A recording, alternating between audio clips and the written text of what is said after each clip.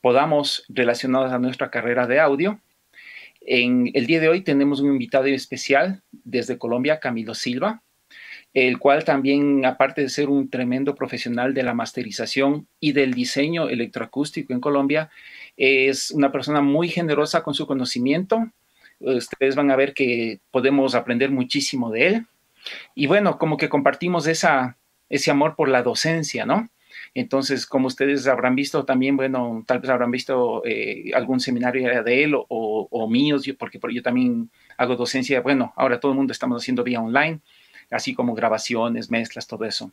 Entonces, esta tarde tenemos a Camilo Silva directamente desde Bogotá. Les puedo decir que a sus 27 años recibe su primer Latin Grammy en el año de 2007. Recibe su segundo Latin Grammy eh, en el 2013 por su trabajo en Corazón Profundo de Carlos Vives. Y varios de los trabajos en los cuales Camilo ha participado han recibido múltiples nominaciones de una variedad de estilos y géneros, incluyendo Álbum del Año, Grabación del Año, Canción del Año, Mejor Álbum de Fusión Tropical y Mejor Canción Tropical, etc. Muchos de sus trabajos de masterización han sido nominados o ganadores de premios Grammy. Actualmente y paralelo a su labor como ingeniero de mastering, Camilo continúa desarrollando tecnología para estudios de grabación.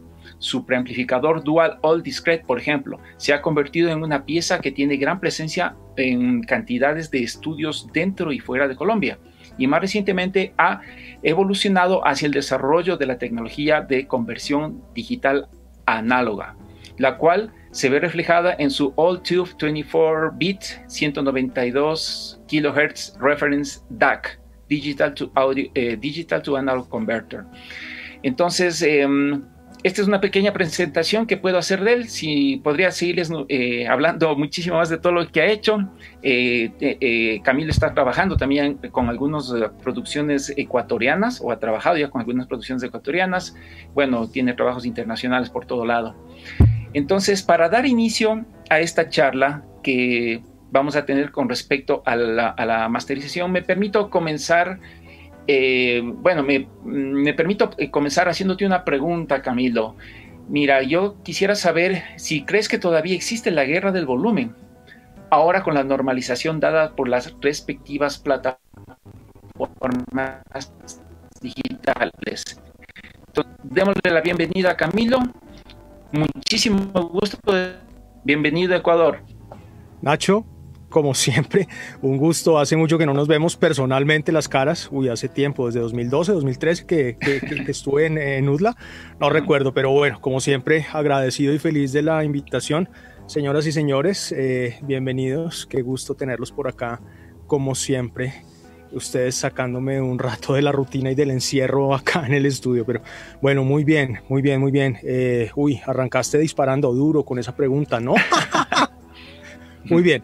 Eh, nada, vamos, vamos, vamos de frente, vamos de frente a los temas. Igual, preguntas que vayan surgiendo, vamos a ver cómo construimos la conversación.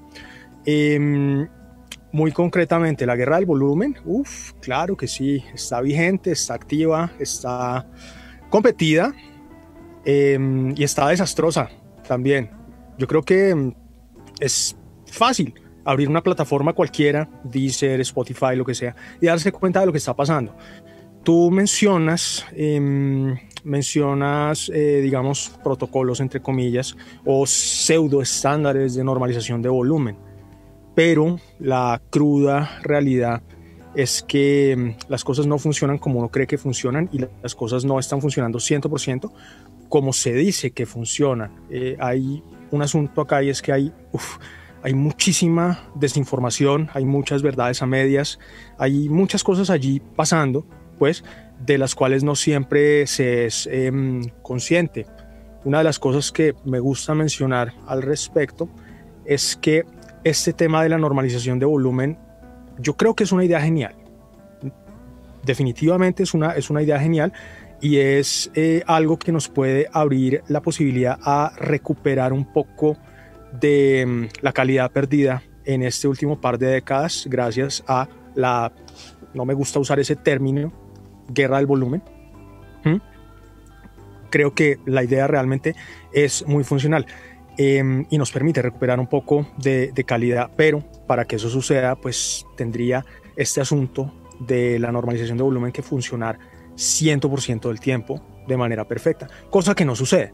Entonces, em, pues yo, yo les podría proponer un ejercicio. Podríamos arrancar con, con un ejercicio. De hecho, esto fue parte de una investigación que hice hace ya un buen tiempo, año, año y medio, justamente para alguna presentación que, que hicimos eh, en 2019, primer semestre, en, en, Árbol Naranja, si no estoy mal. Y mm, voy a compartir la pantalla, voy a compartir mi pantalla, voy a abrir la sesión y Em, les cuento un poquito de qué se trata, porque de repente, de repente con, con, esa pregunta, con ese cañón de pregunta que arrancaste para disparar, creo que la cosa se puede poner interesante para, para generar un poquito de conversación al respecto. Entonces, permítanme un segundo, ténganme un poquito de paciencia, reviso que todo esto esté funcionando. Eh, se van a dar cuenta que no todo el tiempo los voy a estar mirando de frente. Resulta que estoy en el estudio, pero no estoy en mi máquina de trabajo eh, básicamente estoy corriendo todo esto en, mi laptop porque no puedo hacer este tipo de cosas desde mi máquina de trabajo del estudio. Entonces la cámara la tengo allá, segunda pantalla, pero en mi pantalla compartida, mi pantalla de trabajo va a ser este. Entonces voy a estar mirando acá, ¿vale? Para que no se vayan a, asustar si no los estoy mirando de frente como suelo hacer. Muy bien. Pantalla 1. Y Share Computer Sound. Ok, creo que estamos. Eh, Nacho, confírmame, por favor. Correcto. ahí ven una caricatura de un calvito. ¿Estamos? Correcto. Sí, sí, estamos. Muy bien, muy bien. Entonces, eh, vamos, a, vamos a abrir esto. Vamos a abrir esto.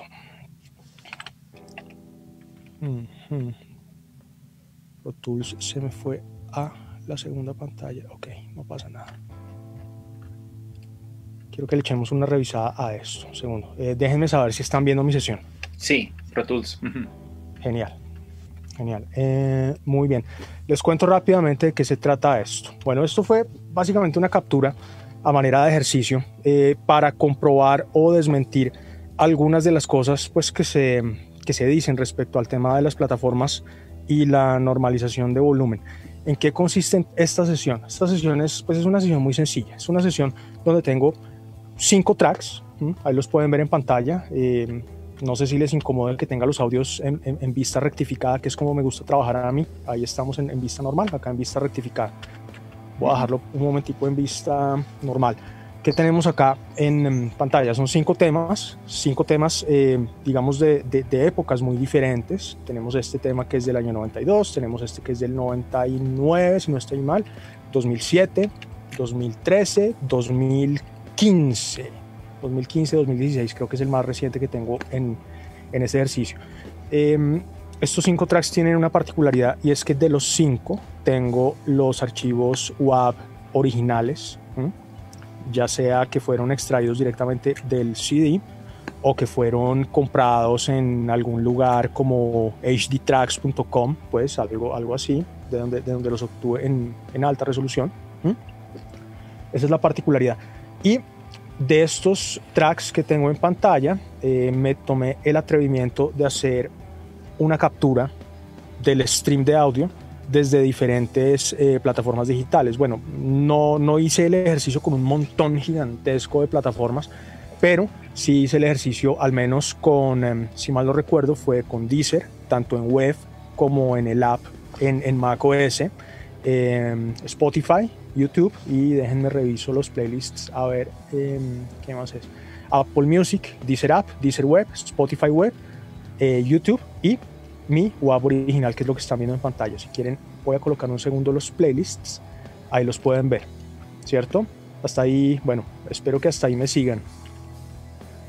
Muy bien, entonces, ¿cuál es el ejercicio, el ejercicio acá? El ejercicio, digamos, es hacer una comparación visual rápida de lo que fue esta captura desde las plataformas y lógicamente pues esa captura se hizo a un archivo WAV a pesar que mm, pues sabemos que las plataformas hacen el streaming en, en, algún formato lossy eh, con una tasa de bits mucho más baja que, que un WAV por lo general em, Spotify utiliza, si no estoy mal, utiliza OGG, mientras que Apple Music y las demás utilizan WAC+. Eh, pero básicamente esto lo estoy capturando con una aplicación y esa aplicación eh, me está generando eh, esa captura en archivos WAV a 16 bits 44 o a 24 bits 44, mentira. Y esos archivos los cargo aquí a una sesión de Pro Tools, que es lo que ustedes están viendo en eh, pantalla. Todo este ejercicio que les estoy hablando sería un ejercicio súper interesante que ustedes puedan hacer en sus propios entornos realmente, porque al hacerlo ustedes mismos y al darse cuenta ustedes mismos de qué sucede, em, probablemente se les van a aclarar muchas cosas en la cabeza respecto a lo que está pasando con las plataformas y el em, volumen. Bueno, para quienes no lo sepan, está este tema que llamamos normalización de volumen, que simplemente significa que las plataformas toman una lectura del tema, eh, generan, voy a simplificar y voy, a simplificar demasiado eh, para no entrar en detalles excesivamente técnicos ahora, pero básicamente eh, las plataformas a través de X algoritmo, la mayoría, si no estoy mal, utilizan un algoritmo que se llama Replay Game, la mayoría, salvo Apple Music. Miento, miento, miento, estoy, estoy equivocado. La mayoría utilizan Replay Game. Mm, que yo sepa, que yo sepa solamente Tidal utiliza LUFS, pero tendría que confirmar esos datos. De, toda esta carreta que les estoy hablando, tomen todo con un granito de sal porque puede que algo de lo que yo diga eh, puede que esté una gotica desactualizado al día de hoy. Entonces, pues siempre es bueno mantener la información, mantener actualizándose, eh, porque todas estas cosas tienden a cambiar permanentemente. Entonces, em, volviendo, volviendo al punto, todas estas em, capturas, este ejercicio sería muy interesante que lo puedan hacer ustedes mismos. Eh, les voy a enseñar rápidamente cómo. Mm, a ver, arranquemos, arranquemos, arranquemos acá, arranquemos en Deezer App. Ojalá me abra, ojalá no me toque meterle la contraseña. Vamos a ver. Em, ah, me toca meterle la contraseña. Regálenme dos segunditos a ver cómo, cómo está esto. No vayan a pensar mal de mí, esto está configurado con el correo electrónico de mi esposa, así que un segundo, voy a, voy, a, voy a, sacar esto, voy a sacar esto de la pantalla principal.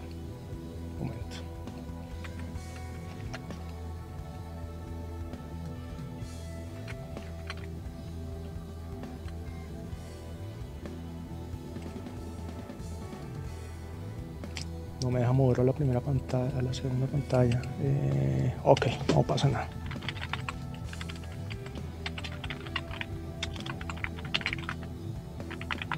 Ahora la contraseña no me acuerdo. No, ¿es en serio? Perdón. Guay, guay, guay, guay, guay. Yo sabía que me iba a hacer esto. Bueno, en fin. Se pueden reír de mí un rato si quieren. ¡Vamos! no. ¿Vas a dejar entrar o no? Ok, listo, olvídense. Eh, hagámoslo desde Deezer, desde Deezer Web y ya está. No pasa nada.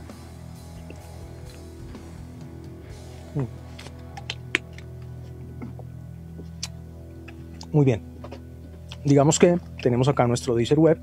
Entonces todo lo que vamos a hacer es buscar cualquier tema que queramos capturar y lo vamos a echar a andar. Eh, por ahora vamos a hacer esto como medida de precaución. Voy a echarlo a andar porque eh, yo sé que el volumen de esto posiblemente esté fuerte para ustedes, entonces eh, tengan un poquito de precaución apenas vean que vaya a soltar la música.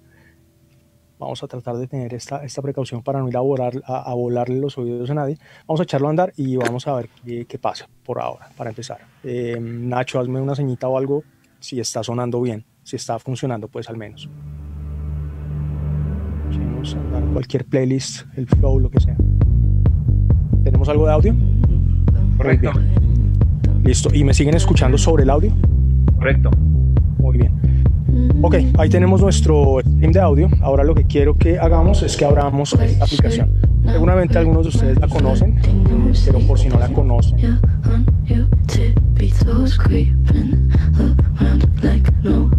Esto se llama Audio Hijack, una aplicación que en principio es, es gratuita y es una aplicación que nos permite básicamente recolectar, grabar cualquier stream de audio que suceda internamente desde el computador.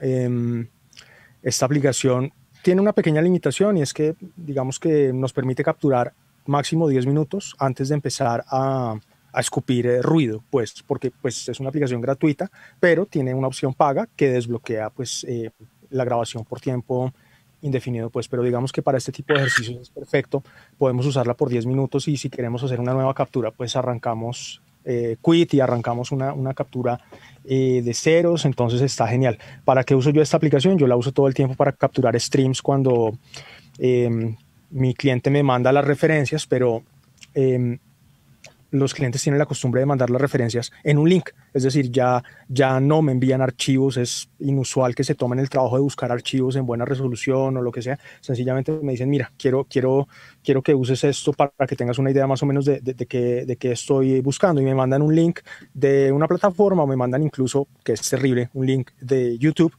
Eh, y ya con eso pues me ubico, termino buscando el tema en, en, en Deezer o lo que sea y lo capturo acá para escuchar e importar a mi sesión de Pro Tools. Entonces, Audio Hijack se llama, ¿verdad? Eh, audio Hijack. Uh -huh. Lo que pasa es que yo, yo quisiera poder hacer zoom acá, pero yo lo estoy haciendo y yo lo veo, pero yo sé que ustedes no ven el zoom que estoy haciendo, ¿cierto? Que es el zoom del sistema operativo. Sí. Uh -huh. eh, para mostrar un poquito mejor lo que está pasando. Se llama Audio Hijack, efectivamente. Entonces la pueden buscar, la pueden, eh, la pueden probar y es bien interesante y bien práctica. Entonces aquí básicamente escojo desde qué aplicación yo quiero hacer la captura eh, y lo capturo a un archivo de audio. Para eso es para, eso es para lo que sirve, para lo que sirve esta, esta aplicación, que es muy, muy, muy interesante. Entonces, bueno, ahí les dejo ese dato con esta aplicación. Una vez yo termine mi captura, ella me va a generar eh, un audio. Y ese audio, lo que yo puedo hacer es sencillamente importarlo directamente a mi sesión de Pro Tools, eh, siempre y cuando lo hayan capturado en WAV a 16, 24 bit, 44.1K o a la sesión, a, a, la resolución y formato que sea que estén trabajando, lo van a poder importar acá directamente a su sesión y montarlo, tenerlo ahí, echarle un vistazo, eh, analizarlo, eh, pueden em, utilizar su, su medidor de loudness favorito, lo que sea que ustedes usen, sus analizadores, lo que sea, en fin. Entonces es eh, genial. Este ejercicio, esta sesión que tengo en pantalla, pues efectivamente está generada eh, con los archivos míos originales en WAV, en, la calidad correcta, digamos. Y todo esto que ustedes ven aquí abajo son archivos que han sido capturados desde diferentes plataformas digitales a través de Audio Hijack e importados aquí a mi sesión. Entonces, eh, ¿qué sucede? Vamos, vamos a quitar la vista de playlists para que podamos mirar eh, un poquito más grande esto. A ver si podemos agrandar un toque más. ¿Sí se ve con claridad? Sí. Muy bien. Eh, ok, voy a echar a andar un segundo la música. Eh, seguramente van a reconocer los temas. Eh, cuidado con los oídos con eso ya pueden hacer un, un, ajuste razonable de sus volúmenes en caso que tengamos que estar mirando eh, alguna sesión para responder alguna pregunta. Ahí va.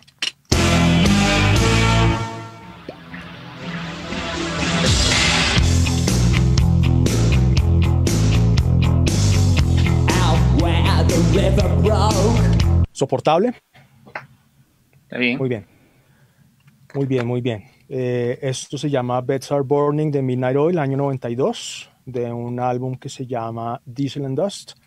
Esto es del año 99, esto es Toto, de Mindfields.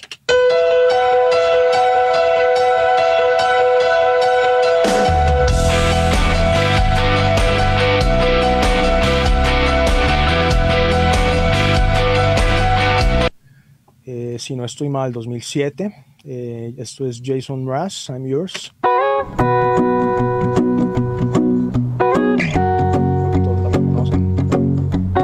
Esto evidentemente sonó por todo lado en el año de los Olímpicos, así que... ¿Cierto? recuerden? Que es de Muse, de Second Law. Esto si no estoy mal, mezcló, eh, este tema lo, lo, lo, mezcló Chris Loralgi, si no estoy mal.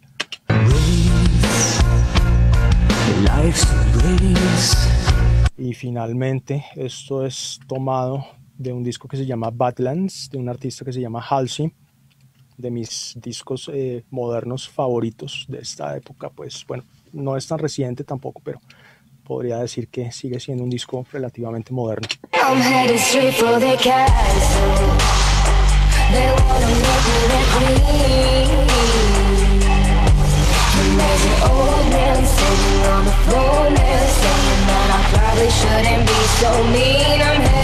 Muy bien, eh, ahora quería colocar esto así grande porque lo siguiente que quiero hacer ya va a ser un ejercicio un poquitín más visual. Eh, no quiero dedicarle demasiado tiempo, digamos, a darle playback a todas las muestras, pero sí, sí quiero, sí quiero que eh, comparemos visualmente lo que está pasando. Estos son los WAPs originales con sus niveles originales. Eh, se pueden dar cuenta pues que prácticamente todos tienen su aspecto ladrilludo. Sabemos que eso tiene mucho que ver con el tema del volumen. Sin embargo, pues fíjense, este tema, el tema de Midnight Oil, pues se pueden dar cuenta que realmente es eh, el SNER el que tiene, el que tiene los, los transientes gigantes acá, pero el, rango dinámico es bastante, es bastante amplio en este tema comparado con, con el resto. En fin, al punto al que voy es que estas capturas se hicieron desde las diferentes plataformas digitales, em, básicamente en el, en el default, pues como, como estaban ellas, es decir, sin, sin prestarle mayor atención, eh, por ejemplo, a las preferencias de audio, si había alguna opción de prender o apagar la normalización, etcétera, etcétera, etcétera. Sencillamente la captura fue hecha tal cual em, por default. Quiero que le presten atención a esto. Arranquemos, arranquemos con Deezer Web. ¿Mm? A ver, donde podamos ver los cinco archivos, arranquemos con Deezer Web. Quiero que se den cuenta que tenemos unos niveles reducidos, bastante reducidos, y quiero que se den cuenta, pues que digamos que el tope del ladrillo es claramente visible, sobre todo en este caso, y está claramente reducido sobre todo en este caso, ¿cierto? Se pueden dar cuenta que está, bueno, está eh, algunos decibeles por debajo de, de cero digital si lo comparamos pues con el archivo original, ¿cierto? Entonces, eh, nosotros en cuanto a, digamos, en cuanto a loudness, así rápidamente, pues no voy a decir que vamos de menor a mayor necesariamente, pero sí puedo decir que de las cinco muestras, la que está más fuerte en, en, loudness así puro, en loudness bruto, es este, el tema de Muse, seguido posiblemente por el tema de Halsey. Entonces, em, cuando nosotros hacemos esta captura directamente desde, desde Deezer Web, se pueden dar cuenta que en principio este rollo de la normalización de volumen sí nos estaría funcionando pues de de una forma más o menos consecuente con lo que, con lo que se nos ha dicho y con la información que está rondando por ahí en, em, en, Internet. Es decir, entre más fuerte el archivo y una vez sobrepase cierto eh, nivel, digamos, que no, está, que no está estandarizado entre plataformas además, pero cuando sobrepase cierto nivel de loudness, pues este tema em, va a empezar a ser normalizado a ese nivel, no, no, no debería, digamos, eh, superar ese nivel, sino que va a mantenerse ahí. Si el tema está más fuerte que ese nivel, el tema va a ser reducido en volumen a más o menos esos niveles, de manera que todo el material que supere ese nivel debería estar más o menos en línea, en un loudness eh, o en unos niveles de loudness perceptual mejor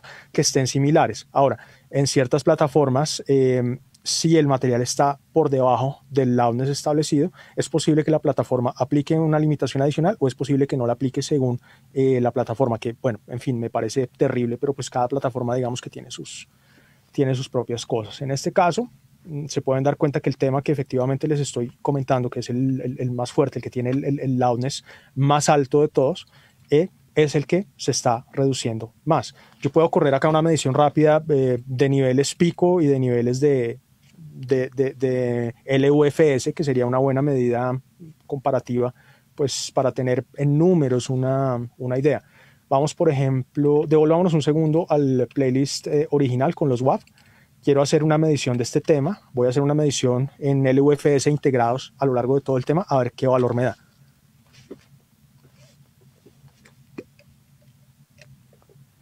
Ok, integrado menos 6.8 de punta a punta. Menos 6.8 integrado es, es, es, bastante, son 7 son siete, son siete de arriba de lo que, de lo que sería el, em, el valor, el valor em, que utiliza Spotify o Deezer, que es menos 14, si no estoy mal. Puedo, ojo, puedo estar en un error, puedo estar un poquito desactualizado. Menos 14, ¿cierto? Entonces, em, vamos un segundo nuevamente a Deezer App, a la captura de, perdón, de Deezer Web y ejecutemos la misma medición a ver qué nos da. Ok, nos da un integrado de menos 15.1. Okay, y eso quiere decir que siempre estamos eh, reduciendo bastante el volumen en esa reproducción de Deezer. Y bueno, visualmente en este caso podemos confirmar que la cosa sí está funcionando eh, como debería estar funcionando en principio. Es decir, está activada tal cual y eh, al yo reproducir estos cinco tracks que son de diferentes eras y que tienen diferentes niveles de, volumen perceptual, eh, deberían sonar más o menos alineados, más o menos. Y digo más o menos porque es que la percepción de volumen no depende únicamente eh, de la densidad como tal, sino también de la distribución de frecuencia de los archivos. O sea, realmente hay, un, montón, hay un montón de detalles ahí importantes a tener en cuenta. Em, la medición en LEUs o la medición que se haga a través del algoritmo de replay gain, claro, nos da una buena idea y nos permite, digamos, hacer este, este acercamiento, pero em, hay más factores allí también que tienen que ver pues con la manera en que, en que responde el oído a ciertos rangos específicos de frecuencia. Quiero que volvamos al WAV original. Eh, voy a soltar em, voy a soltar los puntos más densos de cada tema, voy a soltar unos segundos de los puntos densos de cada tema y quiero que traten en sus cabezas de recordar em, las diferencias de volumen entre estos cinco temas. ¿Ok? Ahí va.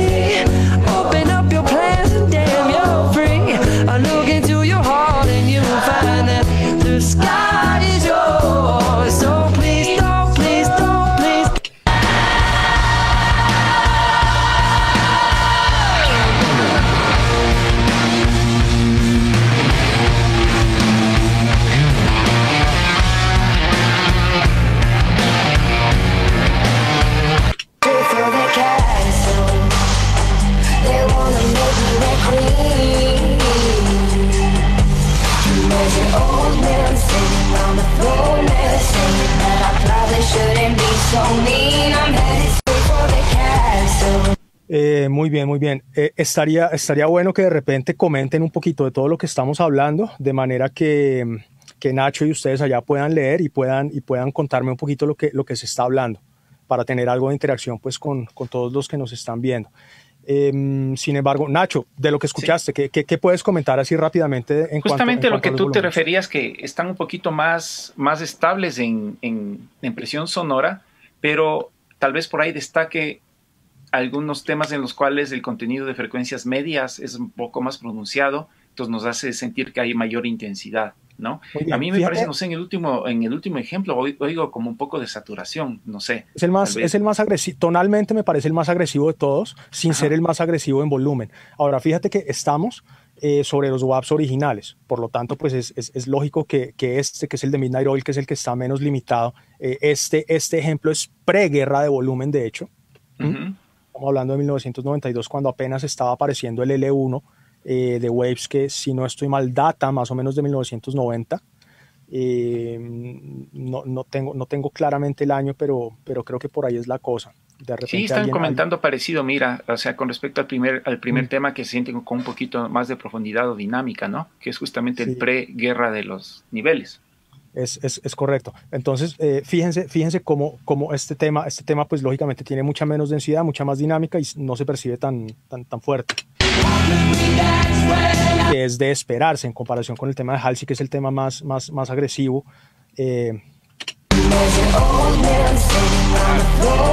sin ser necesariamente el que mide más alto. ¿Ok? Entonces, em, lo siguiente que vamos a hacer acá es que vamos a pasarnos nuevamente a Deezer Web y vamos a hacer la comparación rápida, pero ya digamos bajo este esquema de normalización de volumen, eh, tal cual. Aclaro, estos audios que están viendo en pantalla, tal cual como fueron capturados, así están, no están manipulados en volumen, nada. Así como salieron de, de, la plataforma, así están y así los están viendo en pantalla, porque de lo contrario, pues si yo alterara los niveles, el ejercicio pierde validez totalmente. Em, go, vamos.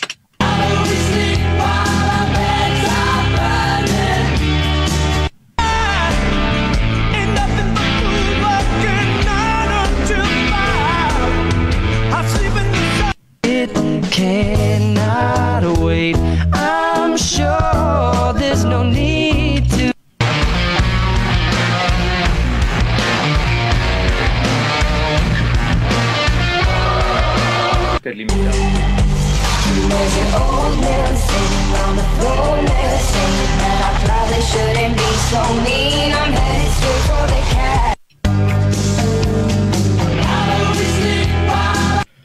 Y esto pues nos dice que bajo un esquema de normalización de volumen que sí esté funcionando, digamos que los resultados pues son más o menos los que se, los, que se esperan y un track, y un track digamos de, de, la era y de los niveles que puede tener el, el, de Midnight Oil, que es mucho más conservador y preguerra del volumen, puede eh, mantenerse más o menos estable dentro de un playlist que involucre diferentes décadas y diferentes estilos eh, de volumen especialmente si hay mucho material, digamos, de épocas así súper diversas, eh, de las últimas dos décadas combinado de material de décadas de 60, 70, 80, por ejemplo. Entonces, por ahí va la cosa. En un mundo ideal, esto que tenemos en pantalla, pues sería, digamos, sería lo que, lo que deberíamos estar oyendo todo el tiempo, mecanismos de normalización de volumen que estuvieran eh, funcionales 100% del tiempo, pero en el mundo real eso no sucede. En el mundo real tenemos eh, una variabilidad de cada, o sea, de, plataforma a plataforma tenemos una variabilidad y tenemos un factor em, importante y un factor complicado y es este. A ver, a ver si, a ver si acá les puedo mostrar. No sé si, no sé si están viendo con claridad, pero acá donde estoy marcando con el mouse se van a dar cuenta que hay un parámetro en, en, en los ajustes de audio que dice normalizar audio. ¿Lo están viendo con claridad? Eh, ¿Qué sucede? Esto es lo que enciende o lo que apaga la función de normalización de loudness en mi Deezer web, en mi reproductor web como tal. Entonces, ¿qué pasa? El usuario está en libertad de apagarlo o de encenderlo.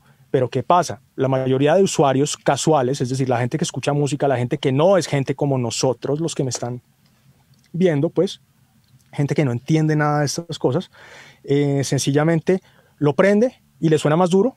Ah, genial. Y lo dejan eh, perdón, lo apaga, lo apaga, porque prendido, prendido pues vamos a tener la normalización, la normalización activa y el volumen va a, caer al nivel que tenga cada plataforma.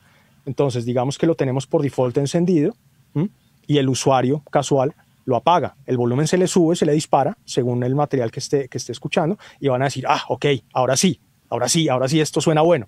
Entonces, eh, y estoy tratando de, pensar cómo pensaría un consumidor común y corriente, pues, ¿cierto? Eso es lo que puede pasar en una plataforma como dice, la normalización se puede apagar y está en manos del usuario, en este caso, apagarla o encenderla, lo cual em, no me parece ideal porque para que nuestras cosas funcionen como quisiéramos que funcionaran eh, y para que, digamos, para que se acabara esta guerra del volumen, tendríamos que tener la normalización de volumen permanentemente encendida y tendría que ser algo que no sea deshabilitable por el usuario, ¿ok?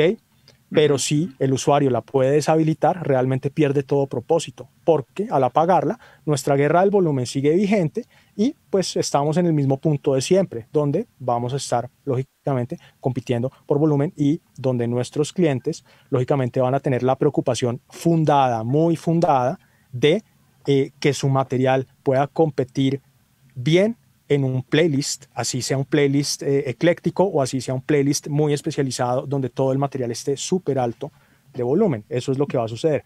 Em, igual quiero terminar el ejercicio mostrándoles los, los otros playlists, así comparativamente, eh, de las otras capturas que hice. Entonces pasémonos a, a Deezer App.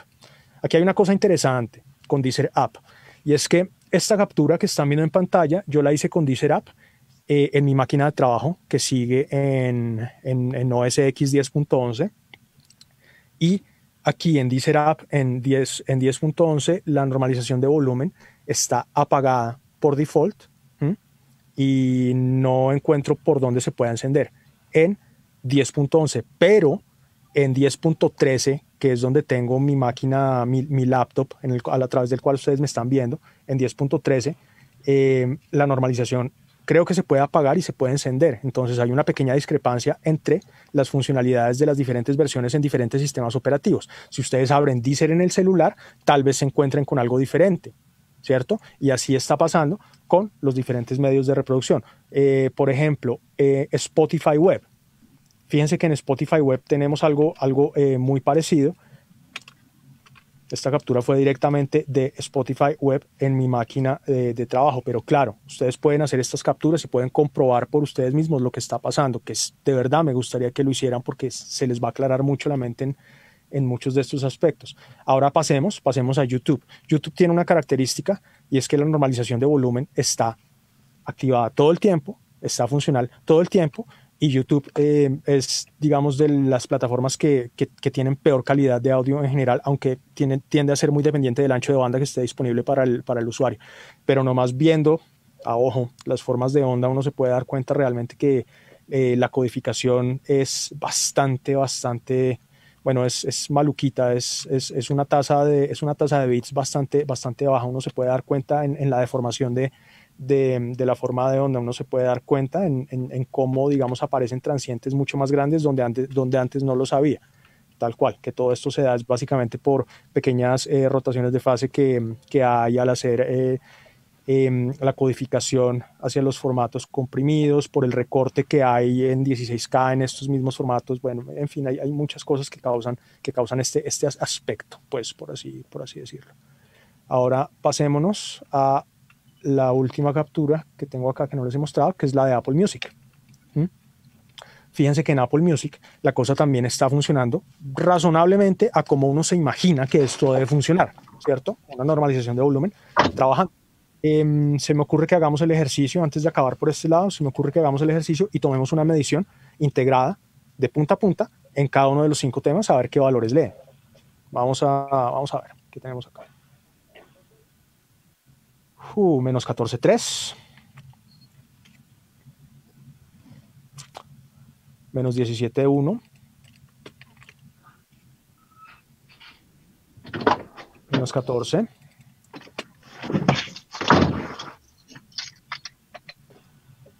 menos 15,7 y menos 15,3. Fíjense que hay, hay, una tendencia rondando los, los, menos 15 con una pequeña discrepancia en este segundo archivo, pero realmente los números, eh, acostúmbrense a que los números no valen nada. Realmente lo que vale, lo que vale es esto, lo que vale es lo que podemos escuchar. Realmente y el oído, pues al final es el, es el, es el, es el juez eh, definitivo en todo esto que, que estamos haciendo. Ahora, eh, voy a echar a andar la reproducción un segundo Em, en los cinco temas, a ver en volumen perceptual, pues que, que, pueden sentir para que, digamos, para que, para que cerremos este, este tema sacando, sacando algunas, que cada uno saque algunas conclusiones personales al, al, al, respecto. Eh, vamos. Eh, algunos de ustedes, chicos, tienen el micrófono abierto. Entonces traten, traten, de, traten de dejarlo apagado mientras, mientras cuando vean que tengo los ejemplos para, para, que, no se, para que no nos distraiga, ¿vale? Ahí va, nuevamente. Mary.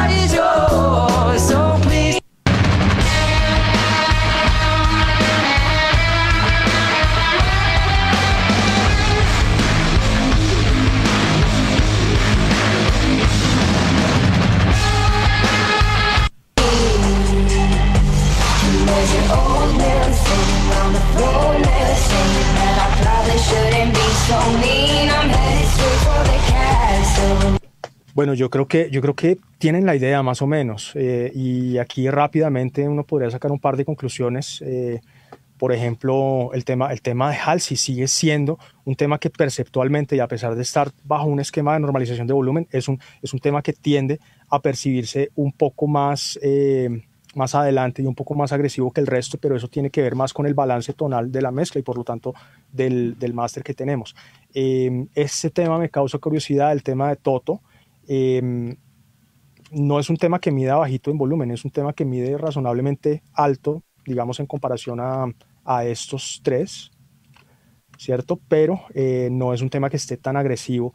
Sin embargo, bajo el esquema de normalización de Apple Music, este tema, este tema perceptualmente se siente quedado a los, otros, a los otros cuatro. Bajo este esquema de normalización, en el momento en que yo hice esta captura, me parece, me parece muy interesante pensar en por qué eh, pasó esto. Digamos, si comparamos lado a lado.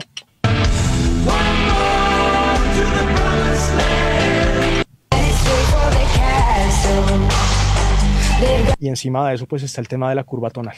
Entonces, eh, nada, les dejo, les dejo eso en sus cabezas para que saquen algo de conclusiones. Eh, comenten, como dicen los youtubers, dale like si te gustó, si no, pues deja tu dislike y, en fin, comenten.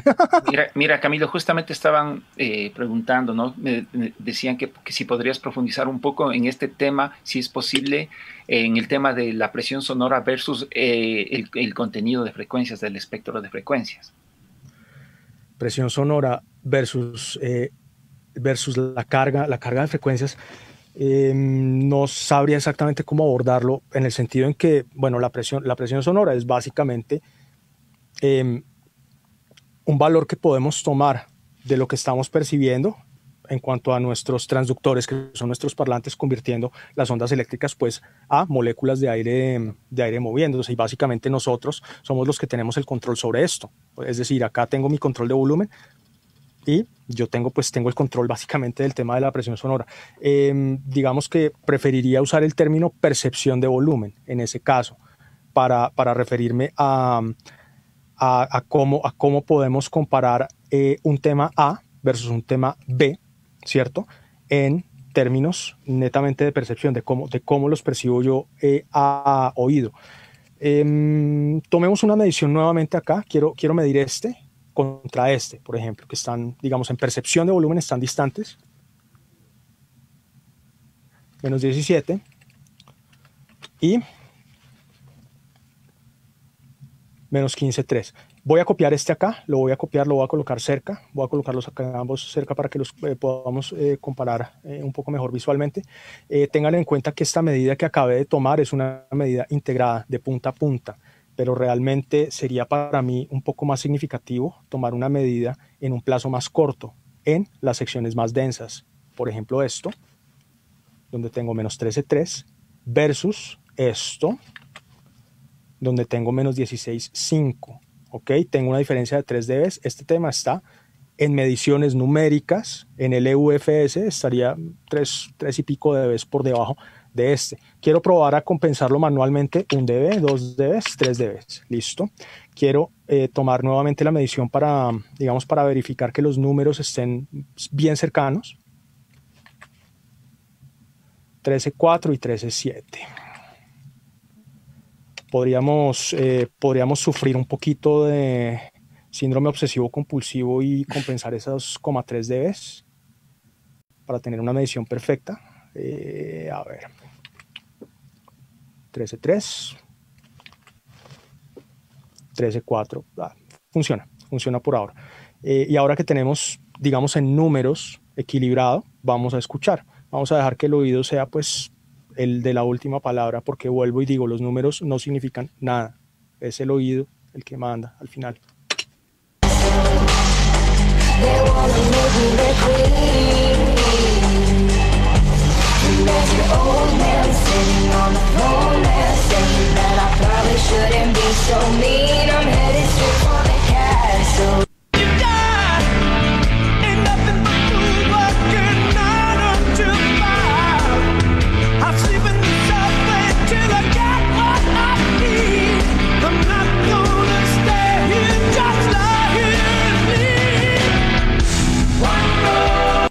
Uf, conclusiones rápidas.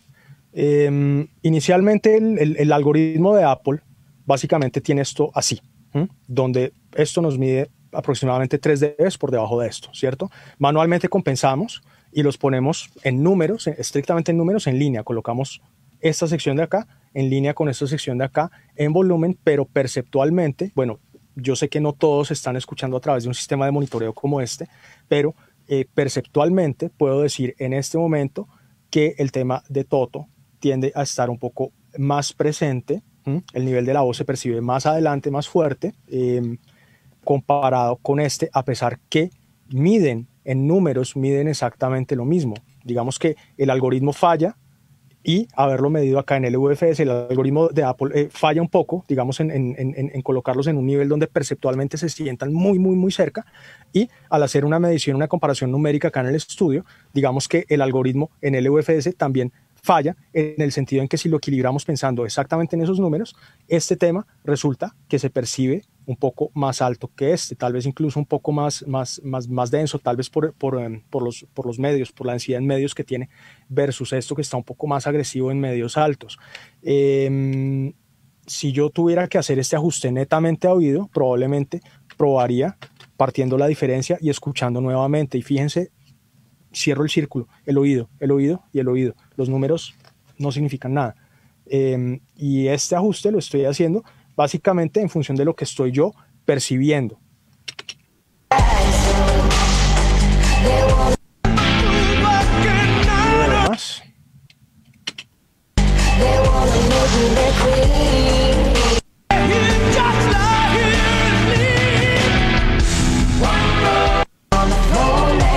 Digamos que eso para mí funciona, están un poquito, están un poquito más cerca, pero sin embargo la diferencia tonal entre ambos temas es, brutal, es bastante, bastante, bastante fuerte y yo sé que cada uno de ustedes lo va a percibir de una forma completamente diferente en cada uno de sus sistemas y esto nos abre la puerta para otro tema y es, eh, pues al final, cómo es que los consumidores están consumiendo y cómo los consumidores perciben la música. ¿cierto? Y cómo a ellos les afecta este tema, pues, del, del, del volumen.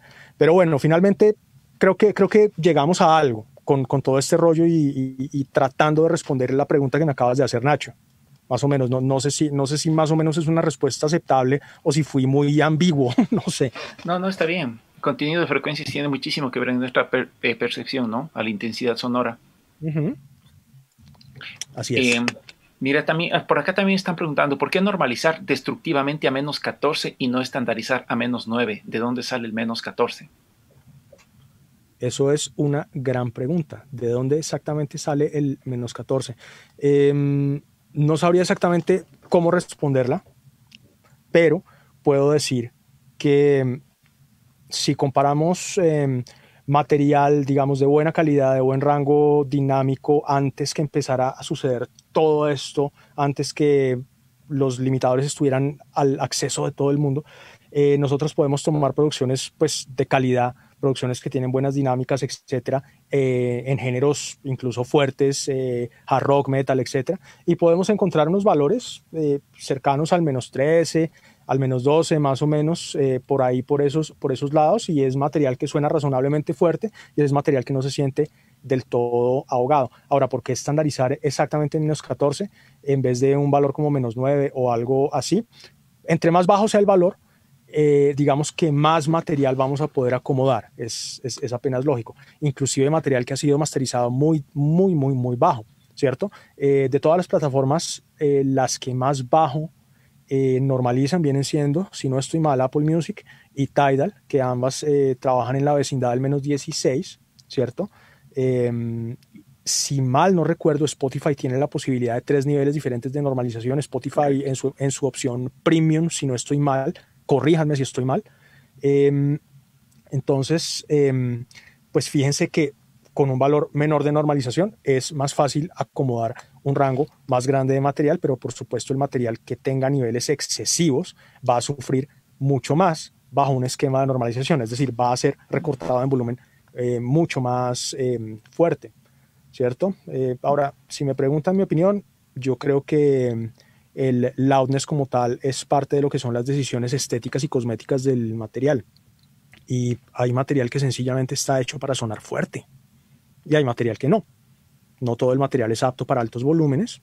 Hay material que es cero apto para altos volúmenes. Y aún así, em, yo desde mi silla de ingeniero de mastering me veo forzado a forzarlo por fuera de, digamos, de su zona de volumen confortable y llevarlo a un punto mucho más alto sin ser necesariamente algo que disfrute hacer, sino más bien algo que corresponde a los requerimientos de la situación y del cliente, que a mí, pues por supuesto, no se me puede olvidar que si bien eh, yo tengo mis propias idiosincrasias aquí al respecto y por otra parte yo no le temo al volumen, nunca le he temido al volumen, em, pues yo tengo que respetar la visión de mi cliente, finalmente, yo, yo solamente soy un facilitador, digámoslo así, respecto a la visión de mi cliente y, a mí no me interesa necesariamente imponer eh, lo que yo crea o no es correcto, si eso va en contravía con lo que creo que mi cliente necesita y está buscando, pues al final estamos en el sector servicios, ¿es así o no es así?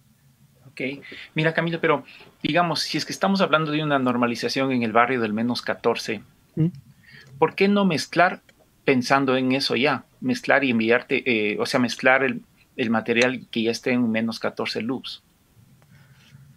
Fíjate que hay material mezclado que ya de por sí viene mucho más fuerte que ese menos 14.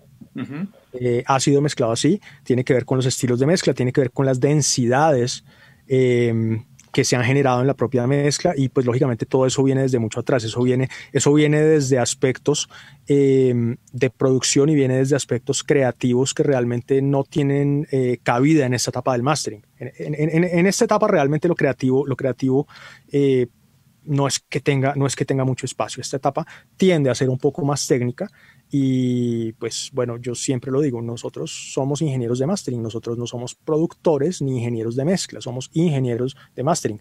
Eh, las decisiones creativas ya fueron tomadas y se asume que el material que, que, se recibe es un material donde ya esas decisiones fueron tomadas y todo el equipo de trabajo está de acuerdo con esas decisiones creativas. Entonces, el trabajo mío, ¿cuál es? El trabajo mío es potencializar esas decisiones creativas dentro de un proceso que tiende a ser mucho más técnico. ¿Cierto?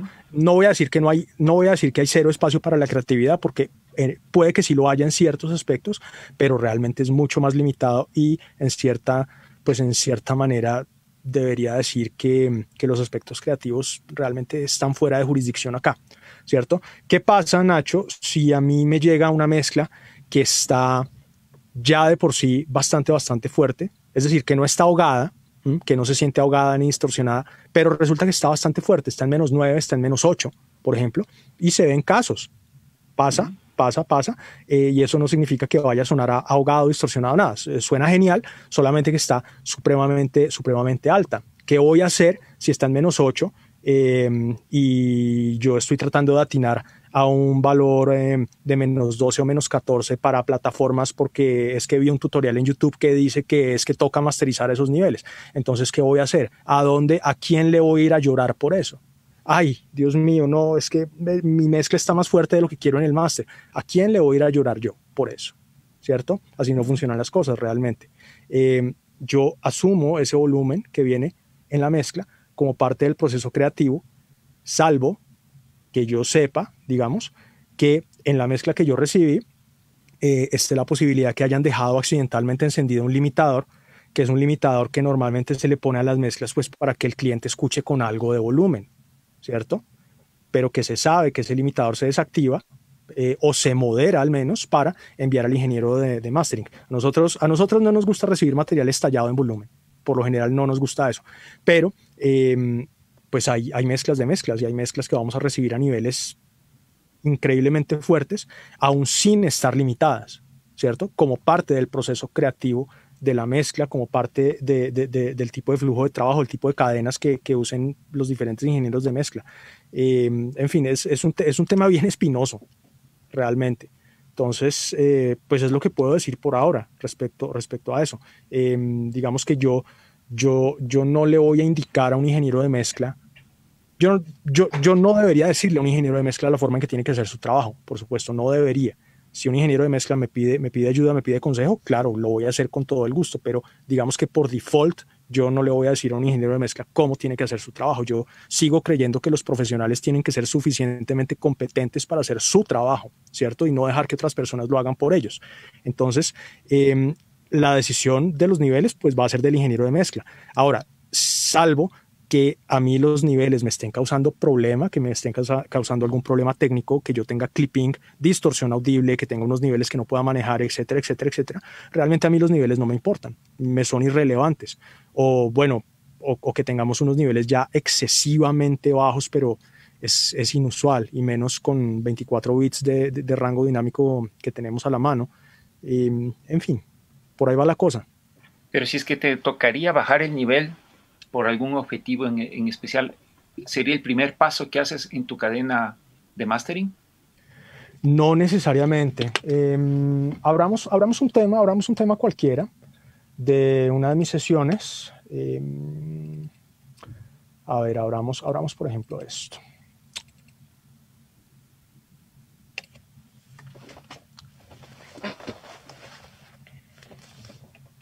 Pues básicamente no hay un estándar de, entrega de volumen de una mezcla, ¿no? Tú vas a recibir en todo un, muchas variaciones. Eh, no, no hay un estándar. Eh, yo sé que hay ingenieros de mastering que digamos que les, les fascina decir es que la mezcla tiene que venir entre tal y tal y bla, bla, bla, bla, bla, bla, bla. A mí no me gusta el bla, bla, bla. A mí no me gusta ni cinco el bla, bla, bla. Yo soy, yo soy muy concreto y soy muy al punto y yo le digo a mis clientes desde que la mezcla no clipe y desde que la mezcla no venga con procesos de volumen ya puestos, es decir, límites o cosas de esas, a mí lo demás no me importa no me hacen la más mínima diferencia técnica si me entregas el tema picando a menos 3 o picando a menos 20 o a menos 30. No me hace diferencia. Técnicamente no me hace diferencia. Em, salvo, por supuesto, pues que digamos que ya la mezcla esté muy abajo y estemos empezando a perder resolución. Em, mm. Sobre todo si tenemos una cadena análoga eh, de mixdown involucrada, que es donde es un poco más crítico el tema de los niveles, pero pues la mayoría de personas trabaja eh, 100% in the box estos días. Eh, entonces, no es un caso tan frecuente. Y pues además la gente que trabaja con cadenas análogas es por lo general gente que, que, sabe lo que está haciendo y que entiende eh, los conceptos básicos y las sutilezas de lo que es eh, un correcto gain staging. El, manejo, el manejo de las estructuras de ganancia lo es algo que, que, lo tienen bien claro, entonces digamos que no, no se va a sufrir por eso. Em, a ver, abramos, abramos este tema. A ver, no sé si lo, lo deben poder ver con claridad, ¿cierto? Arriba tenemos, pues arriba tenemos los audios originales, abajo tenemos los masters. Se van a dar cuenta pues que todos los audios visualmente tienen unos niveles eh, cercanos, pero hay algunos, que, hay algunos que no tanto. ¿Cómo está equilibrado esto? Todo esto está equilibrado. Estos son los audios originales. Em, ¿Es un mismo álbum? Es un, es un mismo álbum, es correcto, es un mismo álbum. Em, ya he hablado de esta banda antes, pero se las voy a recomendar nuevamente eh, a, los que, a los que estuvieron en, el evento pasado. Eh, esta banda se llama Tropicap. Eh, el álbum se llama, es homónimo, se llama Tropicap. es una banda de Barranquilla. Bueno, es, la banda es increíble, mejor dicho, y este es uno de mis proyectos favoritos de, de, este año. Entonces, es muy recomendado que le den una escuchada a este álbum. Es genial, genial. Entonces, lo tengo aquí abierto como ejemplo. Pues tengo la sesión de mastering abierta lógico, la sesión de mastering no está completa porque en, el laptop pues no voy a poder tener todas las etapas análogas, todos mis procesos que están aquí afuera, eh, sino solamente las cositas digitales que son relevantes para estas situaciones así un poco más em, educativas. ¿Qué tenemos acá? Ustedes se pueden dar cuenta, bueno, van a ver que hay varios playlists acá, aunque esos playlists eh, cumplen otro tipo de funciones. Eh, hay algunos tracks auxiliares acá eh, el track principal es este, es el track que dice Source, es mi track de, origen, pues de donde, de donde vienen las mezclas. Y se pueden dar cuenta que tengo un valor establecido acá de clip gain. Se pueden dar cuenta que este valor de clip gain es variable de tema a tema. Se pueden dar cuenta que hay temas donde voy a tener una cantidad de edición manual, que es absolutamente normal, es parte de lo que hago hay, temas donde tengo cantidades de mentes de edición manual directamente sobre el archivo, incluso sobre las macro dinámicas de, cada tema, según lo que cada tema me vaya pidiendo. Pero en principio lo que pueden notar es que hay diferentes valores acá. Eh, digamos, el, valor inicial de, ganancia pues, del archivo. Ustedes van a ver que hay cierta variabilidad de, tema a tema. No está en, en cero perfecto, tal cual como yo lo recibo, sino que hay cierta compensación. Y esa compensación, pues básicamente, ¿cómo la hago? A oído, netamente a oído. Yo eh, cuando recibo 10 tracks juntos para un álbum, eh, lo primero que voy a hacer es sentarme a escuchar. Y para esto es muy importante para mí poder escuchar en orden, en el orden final. Uno, una de las cosas con las que yo sí molesto bastante cuando trabajo un álbum, un álbum completo o un EP, es que yo necesito el orden final. Yo no puedo trabajar con un orden tentativo, no puedo trabajar con un orden que no sea 100% definitivo, porque mis decisiones eh, las tomo muy en base al orden también. Yo cuando trabajo un álbum, yo lo construyo eh, pensando en el álbum como unidad, pensando en el álbum como si fuera un ser, una criatura viviente, una sola criatura viviente, no nueve pequeñitas, sino una sola, mucho más grande. Eh, y todas las decisiones las tomo pensando en ese contexto. Entonces quiero mantener cierta coherencia, quiero mantener cierta conexión, quiero mantener cierta homogeneidad independiente que las mezclas sean súper heterogéneas, pero quiero mantener una conexión eh, de álbum, quiero que suene a disco, quiero que suene a álbum, no quiero que suene a que cogieron 10 sencillos, los juntaron en un mismo disco y los lanzaron como disco. No, no quiero que suene así. Mi disco no quiero que suene así, quiero que suene a disco, a álbum. Em, a pesar de estas épocas donde el sencillo es rey, yo todavía disfruto los álbumes y todavía disfruto trabajar los álbumes eh, dentro de ese concepto, que el oyente pueda disfrutar el álbum de punta a punta. Entonces, esas decisiones las voy a tomar eh, basado en lo que yo escuche de mis temas y en el orden. ¿Qué hago yo? Monto mis temas, ¿cierto? Los monto en el orden final, voy escuchando, escucho fragmentos, voy pasando de tema a otro, eh, voy tomando notas, en fin, y voy analizando este tema de los volúmenes relativos eh, perceptuales a los cuales estoy escuchando las mezclas. Así como vienen, así las reproduzco y empiezo a escuchar y empiezo a sentir las diferencias perceptuales. Entonces, basado en lo que yo vaya escuchando, yo voy a ir ajustando eh, con clip gain en este caso voy a ir ajustando positivo o negativamente las ganancias de los temas hasta tener un punto de arranque que sea mucho más consistente en volumen entre todas las mezclas, aún sin haber aplicado el primer proceso, ¿cierto? Quiero decir, quiero ya tener cierta consistencia en volumen eh, antes de empezar a aplicar cualquier tipo de proceso, control tonal, sea lo que sea. Eso es lo que, eso es lo que quiero, con lo que quiero arrancar, pues. Eso en función al tema más fuerte del álbum. No necesariamente, pero digamos que yo tengo que evaluar cuáles son mis temas o con menor potencial de volumen o digamos los temas mm. que tienden a ser más transientudos o que tengan los desbalances instrumentales más fuertes, porque esos son los temas que van a tener, eh, digamos, eh, una distancia mucho más grande entre, eh, la, entre, entre, entre, entre mm, el nivel pico, pues, y un nivel promedio, digamos la, densidad del, tema, ¿cierto? Entonces, esos temas que tienen estas características son los que son, son los, que son eh, los peores candidatos para volumen y digamos que tengo que trabajar un poquito en función a esos temas porque estos temas de baja densidad, de alto nivel de transientes, eh, son los que me van a imponer a mí el límite de volumen y ese límite de volumen es algo que yo tengo que pensar en contexto de todo el álbum. Aun si hay temas que permitan trabajar volúmenes mucho más altos, yo tengo que trabajar en función a los que no permiten tanto y buscar un equilibrio donde todo pueda coexistir pues dentro de lo que es el ecosistema del álbum, ¿cierto? Digamos, aquí pueden ver claramente este tema. Es un tema que, o sea, visualmente ustedes lo ven y es más transientudo que el siguiente, ¿cierto?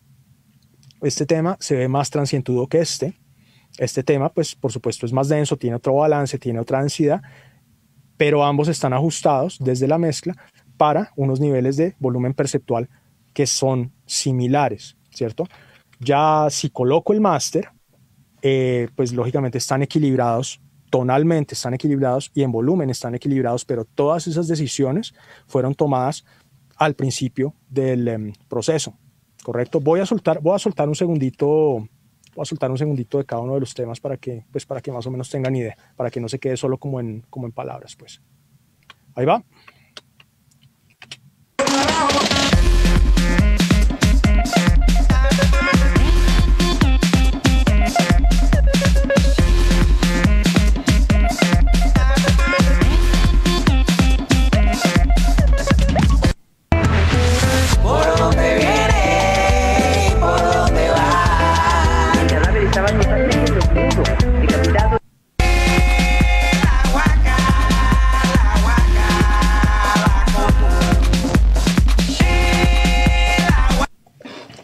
Ahí tienen. Y bueno, claramente son temas que son súper, súper, súper diferentes en construcción, en concepción, en instrumentación, en, todo.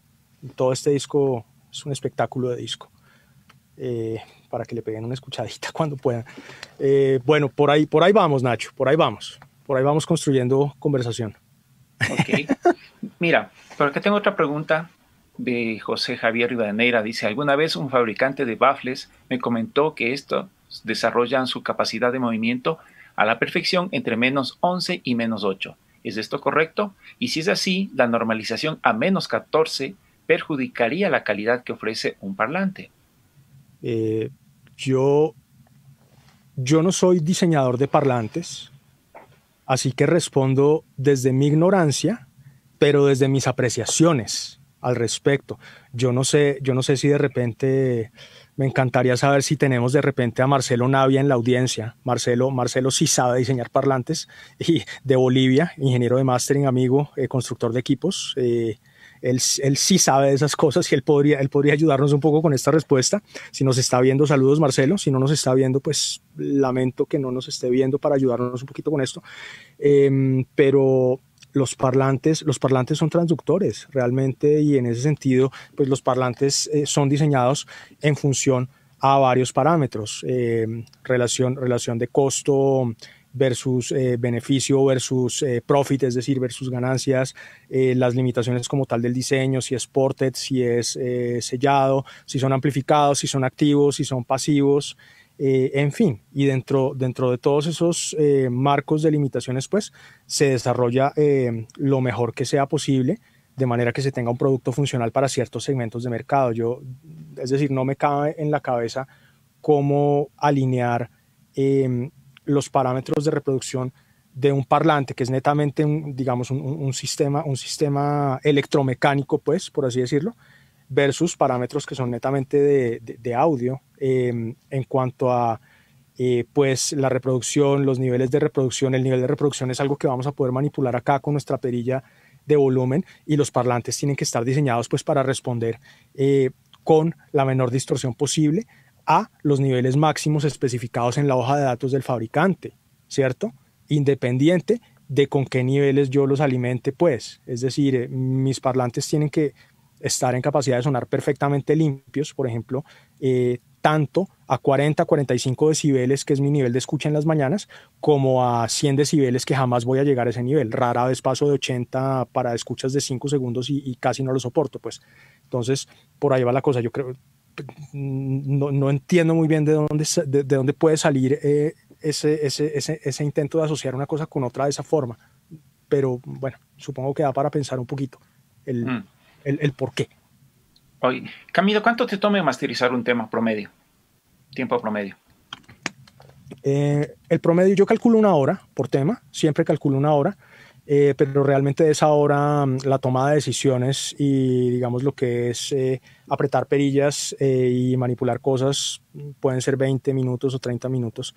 ¿Qué sucede? Em, yo, yo trabajo solo, yo no tengo asistentes haciendo el trabajo por mí. Em, y en ese sentido, yo cuando recibo el material de mis clientes, yo en persona descargo el material, eh, lo recibo, hago, si tengo que hacer conversiones de sample rate inicialmente las hago, eh, monto el material a mi sesión, em, escucho, tomo notas, empiezo a tomar mis decisiones en base a esas notas, em, hago todos mis procesos, imprimo versiones alternas en caso que las haya, exporto, em, genero los entregables, inserto el metadata si es que lo tengo, organizo los entregables de manera que, sea pues cómodo para el cliente si tengo, si tengo diferentes entregables o si tengo muchas, muchas cosas para entregar, pues. Y mm, subo el material, manejo la comunicación, los correos, etcétera, etcétera, etcétera. Todo eso es algo que por tema lo hago más o menos en un lapso de esa hora. Pero fíjate lo que estoy diciendo. Como yo no tengo asistentes ni gente que haga el trabajo por mí, em, pues me toma, digamos, me toma mucho más tiempo de lo que me tomaría si tuviera un asistente detrás mío que se encargue de manejar la comunicación y que se encargue de manejar eh, los aspectos más de, oficina, por así decirlo. Pero si, si te soy honesto, en esta etapa de mi vida sigo siendo muy controlador para tener un asistente y la verdad es que me gusta que mis clientes sientan en todo momento que la comunicación siempre va a ser directamente con su ingeniero de mastering y no con un asistente. Y también van a tener la seguridad que es Camilo y no su asistente el que está haciendo el trabajo y tomando las decisiones y, entregas en varios formatos, qué sé yo, formato para YouTube, formato para Spotify, formato para CD. No necesariamente, pero cada situación es completamente diferente. Eh, digamos que el, set básico de entregables va a ser UAVA 1644, que es lo que las plataformas continúan recibiendo como estándar, eh, y MP3 de referencia, solo, solo de referencia. Pero si el cliente lo necesita, solamente tiene que decirlo, eh, y le podemos generar los 24 bits. Eh, digamos que hay, hay, hay, muchos clientes con los que con los que tengo, tengo esa dinámica de entregables donde hay 24 bits, 16 bits, MP3. Hay otros clientes, digamos, con los que hago mastering para scores de películas y ese tipo de cosas que tienen otros parámetros completamente diferentes. Eh, entonces manejamos 24, 48 típicamente. O hay clientes que tengo con disqueras que se dedican a hacer música bajo un estándar que se llama Sync Ready, que quiere decir que es música que está em, lista para ser comercializada para, para, para sync eh, de video en, en, series, en episodios de televisión, ese tipo de cosas. Con clientes de este tipo, el set de entregables es completamente diferente. Entonces, em, digamos que con, con, mi cliente más reciente, con el que acabo de terminar un álbum de ese tipo, que es un álbum que va tanto para plataformas de música como para plataformas de venta de música, que es Sync Ready para, para series y para esas cosas. Eh, los entregables vienen siendo 24, no, perdón, los eh, vienen siendo 16 bit y 32 bit, tanto en 44.1 como en 48K. ¿Cierto? Entonces fíjate que según cada situación va a ser completamente diferente, pero en, en principio, mientras que el cliente eh, no necesite eh, demasiadas cosas, yo básicamente le doy lo que sé que va a necesitar eh, para iniciar, que es básicamente publicación en plataformas. Y si necesitamos hacer prensar CDs físicos, pues vamos a tener un DDP para la fábrica, por supuesto. Eh, está el caso de los masters que, que van a tener eh, multiformato, plataformas, CD, vinilo. Entonces, para vinilo hay un máster específico y exclusivo que es para, para este formato, para, para vinilo. Em, ah, me encantaría mostrarles, pero no lo tengo en esta máquina, lo tengo en mi máquina de trabajo. Eh, un, vinilo que hice, un máster un, máster que fue exclusivo para vinilo, que hice recientemente, que se maneja bajo unos parámetros completamente diferentes que algo que solo vaya para, para plataformas. Pues. Entonces, cada situación es diferente, pero eh, la premisa es que si mi cliente necesita algo extra, siempre lo tiene, siempre lo va a tener, solo tiene que, solo tiene que pedirlo. Lo que necesite, me dice y ya está hablando del vinilo, ¿tienes algún tipo de requerimiento en especial en cuanto a la entrega de la mezcla con respecto al loudness, al volumen? Porque bueno, para vinilo obviamente la mezcla es diferente, no tienes que exagerar bajos, graves, eh, perdón, graves, agudos, ¿no? Como algunas consideraciones. Pero en cuanto al nivel, ¿podría llegarte una mezcla muy caliente? ¿No hay problema? En general, en general para vinilo todo se maneja bajo unos parámetros que voy a llamar parámetros básicos de sentido común, de buen gusto y de balance. Esos parámetros básicos, ¿qué significan? Yo para vinilo trabajo, trabajo muy balanceado, trabajo sin exagerar rangos, básicamente balanceado, y trabajo muy moderado de volumen. Eh, digamos que básicamente el volumen, el volumen como tal del máster en vinilo deja de ser una prioridad realmente, deja de ser una prioridad porque el vinilo, el vinilo es un medio electromecánico y básicamente es el ingeniero de corte el que tiene el control sobre el volumen, no yo. Entonces es el ingeniero de corte el que, con el conocimiento y sabiduría que tenga respecto a su sistema de corte específico, él sabrá cómo sacarle el mejor provecho a su sistema de corte y, y él, verá hasta qué puntos de volumen puede llegar con el corte de ese vinilo. Entonces, básicamente yo lo que le entrego es casi que un lienzo en blanco, algo muy balanceado. Eh, digamos que claro, lo que es resolución de problemas es algo que, yo voy a ejecutar acá, eh, tener un buen balance tonal, tener equilibrio, tener homogeneidad cuando estoy haciendo un álbum, eh, potenciar lo que deba ser potenciado, corregir lo que deba ser corregido, etcétera, etcétera, etcétera. Que si llega una mezcla excesivamente fuerte y, es un máster para vinilo, no pasa absolutamente nada. Lo más probable es que yo tenga que hacer eh, algo de mi, de mi trabajo trademark de descompresión o de incremento de, rango dinámico, básicamente infundir vida, infundir vida si es necesario. Mm. Es una buena parte de lo que yo hago acá, infundir vida. Em, ah, y se da, se da bien, hay casos que se prestan muy bien para, para ello. Ok. Em, Camilo, en, hablando un poco de problemas de fase, ¿cuáles se puede corregir en mastering? ¿Cuáles no? Problemas de fase, cuáles sí, cuáles no. Yo creo que, mm, a ver, permíteme, permíteme un segundo porque quiero, quiero detenerla, quiero detener, em, quiero detener la pantalla. Ahí me ven otra vez de pantalla completa, ¿cierto? Sí. Muy bien, sí, eh, mientras estemos hablando un rato podemos estar así. Eh, si necesitamos compartir algo, volvemos a, compartir la pantalla. Em, respecto a, fase, en esta etapa es complicada, digamos. Em, el problema más grande de fase que uno podría llegar a tener es que un canal venga completamente invertido de polaridad, ¿cierto?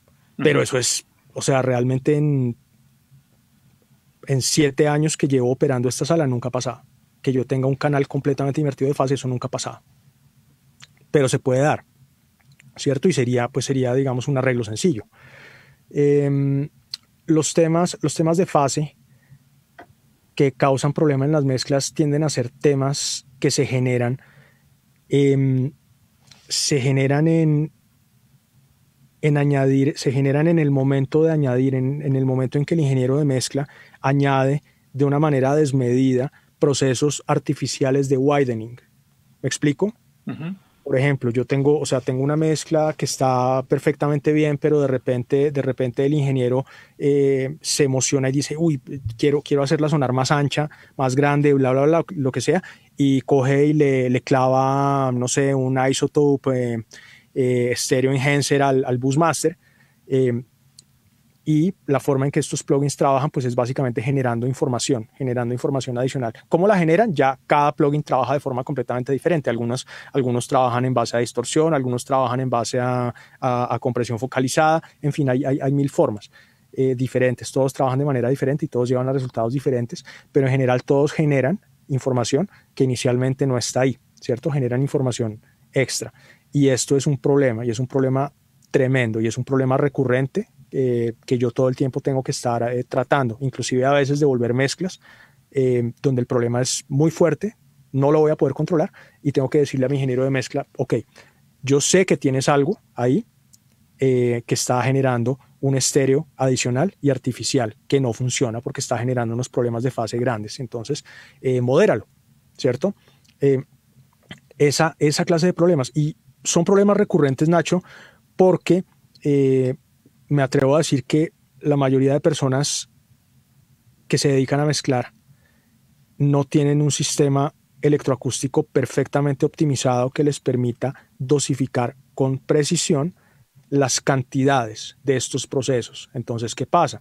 Uno no puede juzgar correctamente lo que uno no puede escuchar, así de sencillo es, ¿cierto? Mm. Eh, y al no poder juzgar correctamente las cantidades, pues ¿qué sucede? Se les va la mano y mandan su mezcla. Ahora, aquí yo escucho todo, aquí yo me doy cuenta de todo. Este sistema, este sistema es, realmente este sistema es, increíble, es fabuloso, pero es un sistema doloroso, doloroso de trabajar. ¿Por qué doloroso? Yo sufro demasiado con este sistema porque este sistema me muestra todo en la cara, me muestra todas las verdades en la cara y, señoras y señores, sabemos que la verdad es incómoda.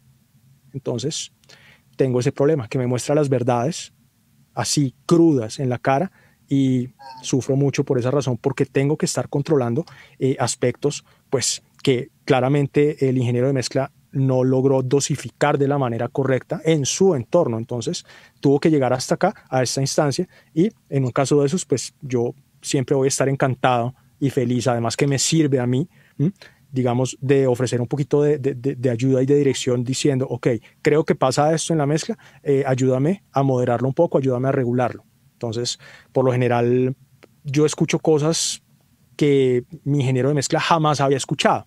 En, sus mezclas. Entonces vuelvo con algo de feedback y ese feedback por lo general nos va a llevar a un resultado eh, en general mejor porque voy a tener un material de origen que es más dócil, que es más flexible, ¿cierto? Y que en general va a estar en un nivel de calidad, de calidad objetiva un poquito mejor de lo que llegó inicialmente. Entonces, em, igual respondiendo a la pregunta, esos problemas de fase que se presentan por, por, exceso de widening, según el tipo de problema que sea, puede que yo lo pueda manejar acá o puede que no realmente. Cada caso es muy diferente, pero hay, realmente hay casos muy extremos. Y los casos que son muy difíciles de manejar son casos donde tengo, eh, digamos, mi imagen estéreo se proyecta en mi sistema, mi imagen estéreo se proyecta de manera holográfica como un gran cuadrado, se, se proyecta de manera tridimensional y holográfica como un, un, gran cuadrado que tiene, pues tiene una forma más o menos recta, como si, fuera una, como si fuera una gran pantalla, una gran pantalla de cine. Entonces, en esa gran pantalla de cine, yo veo la forma que tiene mi, que tiene mi, mezcla, veo la forma con claridad. Em, en muchos casos, la forma con la que viene la mezcla no viene recta. Digamos que, idealmente yo debería, debería sentirla recta, balanceada, pero hay muchos casos en que viene torcida, que viene, por ejemplo, con, una forma de, trapecio, o que viene con una forma de reloj de arena, por ejemplo, o que viene con, barriga, con una gran barriga. Cosas que me indican pues que hay, digamos que a la mezcla se le ha forzado su campo estéreo de manera artificial en zonas focalizadas. Esos problemas, según las zonas, son difíciles de tratar y Em, puede, que, puede, que, puede que yo logre, digamos, em, ayudar o mermar un poco sin solucionar del todo el problema de fondo. Hay que ver hasta qué punto se puede o no se puede solucionar ese tipo de, de problemas. Entonces, realmente es una cosa que se evalúa caso por caso. Y ¿Netamente con algún tipo de software especializado para eso? Eh, no, es el oído. Es o sea, digamos, para corregir la fase. Bueno, no, no, no. Eh, digamos que, o sea, tú acá no vas a poder corregir problemas de fase generados por esa causa, pero vas a poder ayudar, digamos, a minimizar el impacto de esos problemas y hacerlos eh, menos evidentes y menos presentes y hacer que el tema se sienta más encajado dentro de mi pantalla, ¿sí? Y, y que sea más balanceado y por lo tanto que traduzca mejor en los sistemas de consumo normales, ¿cierto?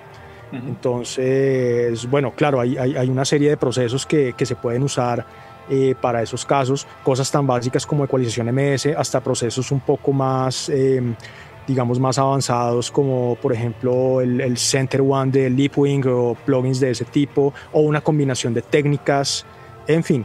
Cada caso va a ser diferente y en, esto, en, en ese aspecto puntual yo soy supremamente instintivo entonces yo básicamente me, baso en lo que perceptualmente estoy escuchando y llego, y llego a determinar, pues basado en eso, qué tipo de remedio puede contribuir a la, a la situación. Hay casos en donde, por ejemplo, lo que tengo que hacer es básicamente una reconstrucción completa del campo estéreo, eh, básicamente cerrando y conteniendo el campo que se ha generado artificialmente y generando contenido, contenido nuevo, pero con un, un nuevo y correcto balance de frecuencia en costados. Es, es, un poquito difícil de explicar así, digámoslo, de ese, de, ese modo, pero pues en general todas las decisiones son, son de oído y son muy, muy instintivas. Ok. Mira, hablando de, sin tomar en cuenta el entorno acústico o de monitoreo óptimo que tú puedas tener, ¿qué tips podrías darnos para alguien que está masterizando 100% in the box? ¿Qué tips? Eh, ¿Qué consideraciones importantes así ¿qué, puedo, qué, puedo decir? Em, supongo que lo primero que voy a decir es que masterizar completamente adentro no tiene por qué ser una limitante en absoluto. Hay, hay, casos, hay casos donde decido mantenerme 100% adentro sin tocar una sola gota de hardware y está perfecto y el resultado va a ser igual de bueno. Em, digamos que, y, suelo decir esto frecuentemente, creo que ya lo han escuchado por ahí algunos de ustedes, y es que yo podría trabajar completamente adentro Em, sin comprometer la calidad de mi resultado, lo que sucede es que me tomaría mucho más tiempo, porque pues el tema, el tema del hardware, claro, eh, digamos que hay algunos caprichos acá y hay algunos diseños acá míos, eh, pero básicamente todo esto tiene que ver mucho más con ergonomía eh, que otra cosa, digamos con, con, la velocidad que esto imparte a mi trabajo y la velocidad con la, que, con la que estas cositas que están acá afuera me llevan al resultado final.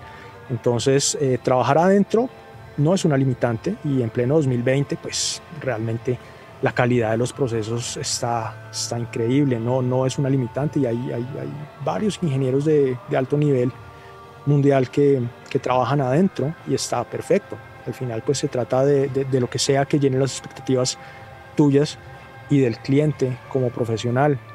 Em, pero el, o sea, el consejo realmente es que el consejo no tiene que ver con trabajar adentro o no trabajar adentro. El consejo, el consejo siempre va a ser enfocarse en cómo estamos escuchando. Ese siempre va a ser el consejo principal.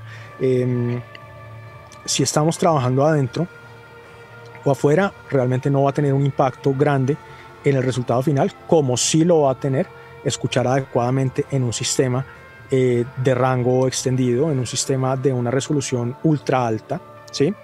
Eh, en un sistema pues conozcamos, en el cual podamos confiar, pero sobre todo que sepamos que es un sistema que nos va a traducir bien que nos va a traducir, no, no bien, que nos va a traducir perfectamente en el mundo real, en el mundo de nuestros consumidores, que es lo que realmente importa. Es decir, a mí, a mí, a mí, a mí no me, digamos que a mí, no me importa si, si mi cliente decide escuchar la mezcla eh, en el estudio donde mezcló. De hecho, para mí eso es mala práctica, porque en general eh, la gente consume en sistemas normales, la gente no va, a ir a, no va a ir a tu estudio a escuchar el tema, ¿cierto? La gente consume en sistemas normales de consumo y es a esto a lo que le estamos atinando. Em, entonces, yo suelo recomendar a mis clientes que escuchen en sistemas de consumo normales y que eviten tomar impresiones en el mismo sistema donde el tema fue mezclado, que por lo general eh, suele, suele ser un error o no, según qué tan, digamos, qué tan descalibrado esté el sistema donde, donde, donde, donde fue mezclado el tema. Y de eso me puedo dar cuenta, pues, en las primeras escuchas de la mezcla también. Me puedo dar cuenta si realmente hay problemas que son más de monitoreo que de experticia, o si hay problemas que son mucho más de experticia que de monitoreo, o si hay ambas. En fin, por ahí va la cosa. Nada, el consejo, el consejo es básicamente cada centavo que se puedan permitir invertirle a su sistema de playback, de escucha, inviértanlo. Monitores, acústica, no hay más. O sea, es lo, es lo único que importa. Los compresores son bonitos, los ecualizadores son geniales, eh, el hardware es genial, pero nada de eso importa al lado de la importancia que tiene el sistema de reproducción como tal. Si, digamos, si, si, si, mm, si por temas de logística les es imposible, digamos, tener un entorno eh, que sea propio, muy optimizado, con diseño hecho por, por, acústicos, eh, con monitoreo de súper alta gama, perfectamente calibrado. Creo que, mm, si bien no lo comparto, pero creo que em, audífonos especializados de muy alta gama pueden ser una opción interesante y pueden ser mucho mejor que someterse a un sistema inferior de playback, de, de monitores. Pues. ¿Algún ejemplo de headphones que se te ocurra? Sí, em, bueno, debo decir que yo no soy de audífonos realmente, pero sí estoy considerando como reto personal em, intentar darle una oportunidad a, usarlos más. Digamos, yo, no uso audífonos para trabajar nunca, no, puedo, no puedo con ellos, no puedo con ellos, pero em, he escuchado un par de modelos que me han parecido interesantes y que yo digo, ok, podría trabajar en esto haciendo un grandísimo esfuerzo perceptual eh, y de acostumbrarme, podría trabajar en ellos. Em, entonces, pues digamos, he, considerado los Sennheiser HD800, por ejemplo, los, los Audis eh, LCDX, modelos de, de, ese, de ese tipo. Tal cual, en, en, en, en, AS en Nueva York tuve oportunidad de escuchar los headphones de, esta marca de Head, que me los mostró personalmente Frederick, uno de los, de los chicos de, la fábrica. Eh, me parecieron geniales, muy pesados, pero geniales, en fin. Creo que, creo que uno, podría, uno podría llegar al punto en que uno podría trabajar en audífonos eh, bien, pero claro, pues sabemos que, el, sabemos que nosotros somos criaturas de costumbre también y hay todo un periodo de, de adaptación. Sin embargo, me parece, me parece interesante y, lo, que los, o sea, lo que los audífonos traen a la mesa, que me parece más interesante, asumiendo que uno logre encontrar un modelo que se acomode a las necesidades particulares de cada uno, es la movilidad, tal cual. Eh, lógicamente, si yo me voy de vacaciones, yo no quiero saber de trabajo, pero hay casos en donde, digamos que tengo que, tengo que viajar no necesariamente por vacaciones y me gustaría eh, poder ejecutar uno o dos temas en la noche, algo así, por ejemplo. Y este tema con los audífonos, el tema de, esa movilidad, de poder, de poder ejecutar una sesión en cualquier lado, eh, me parece muy interesante. Es algo que me llama mucho la atención. Bueno, yo no es que viaje un montón tampoco, pero me llama la atención esa posibilidad. O resolver una emergencia que sea de vida o muerte, pues hay casos. Oye, eh, Camilo, y así, eh, hablando un poco más de en torno a equipos, de tanta variedad que hay para de software, de plugins, ¿cuáles has encontrado que son los más certeros al momento de masterizar? ¿Alguna marca, algún tipo de bundle especial? Porque sé que hay algunos, por ejemplo, de Universal Audio, que a pesar de simularte equipos eh, muy finos, eh, su rango de frecuencia no es el que debería tener como tiene un equipo analógico, el equivalente.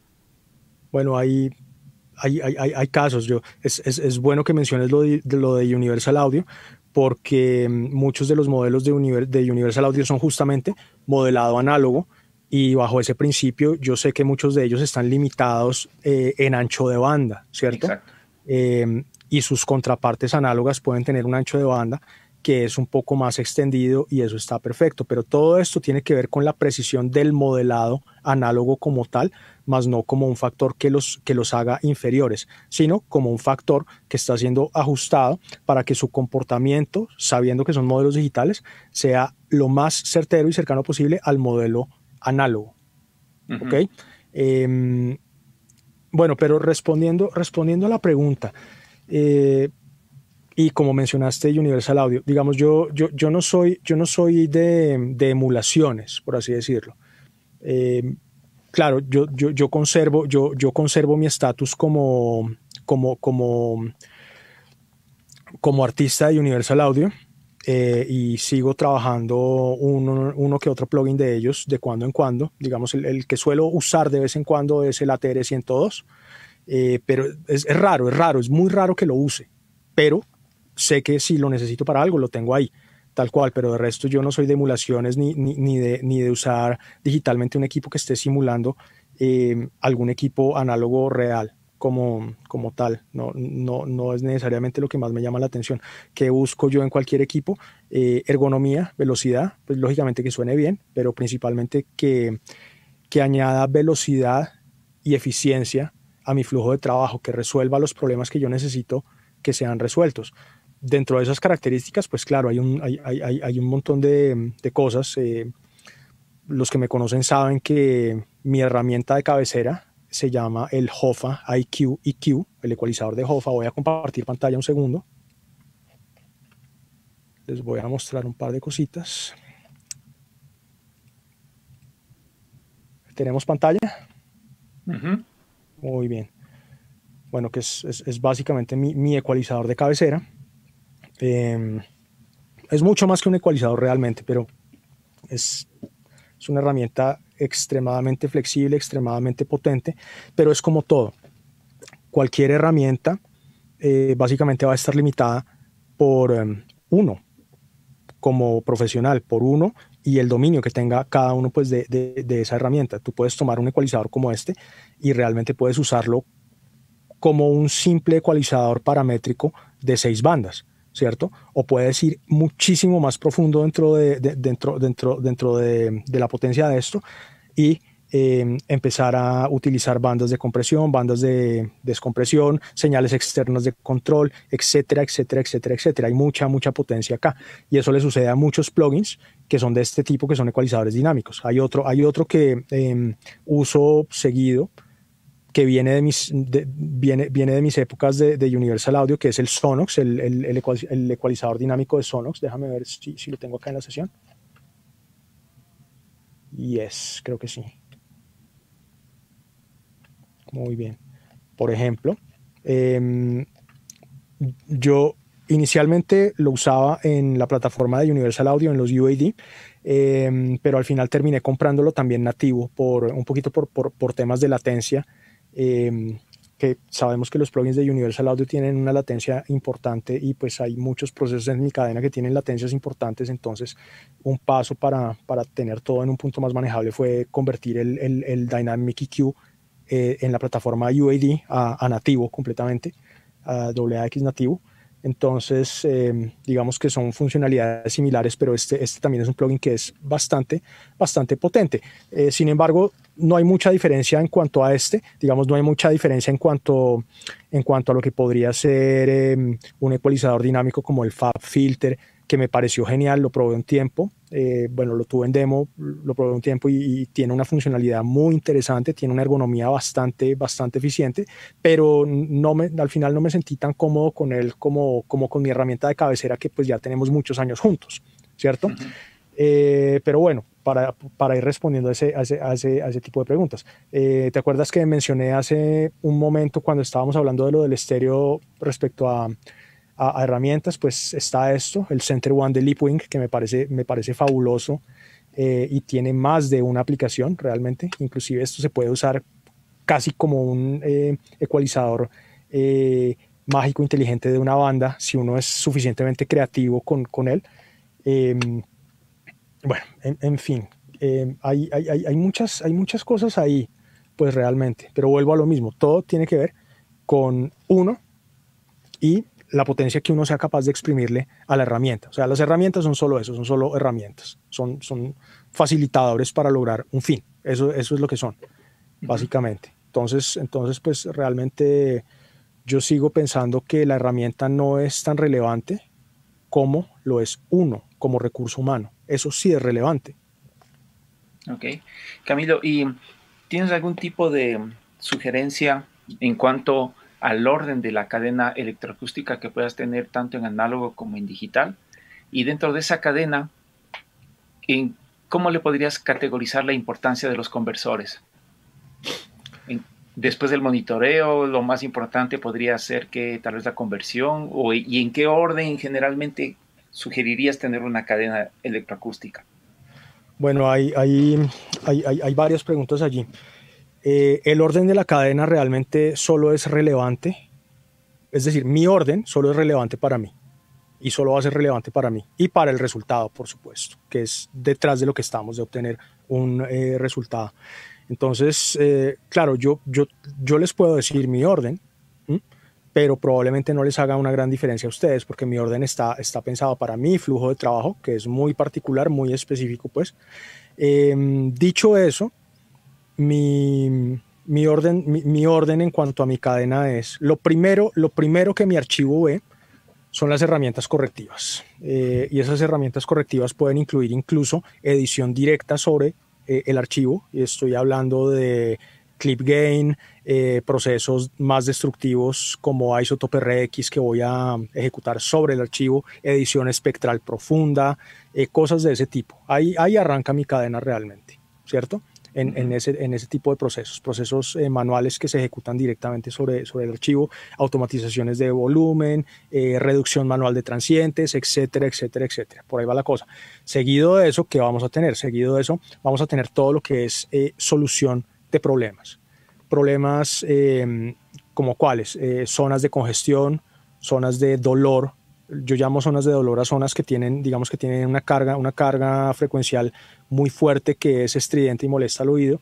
Em, cosas, de, cosas de ese tipo que se puedan beneficiar de, de, mi, de, mi, de mi approach, de mi aproximación de descompresión, que es con lo que yo tiendo a solucionar ese tipo de, de problemas. Pues, eh, solución de problemas. ¿Qué más problemas podemos tener? Por ejemplo, eh, zonas resonantes en los temas, pitos, eh, pitos me refiero a, frecuencias resonantes que, que, salen por ahí, que están en la voz, por ejemplo, em, cosas de ese tipo, instrumentos fuera de balance, todo eso es lo primero que se va a resolver. Em, el HOFA IQ pues lógicamente es mi herramienta de cabecera para resolver ese tipo de problemas, pero también está el Sonox, en ciertos casos eh, eh, el Sonox en vez, del HOFA para ciertos problemas eh, puntuales. Em, también según si necesite usar señales de control externas o no.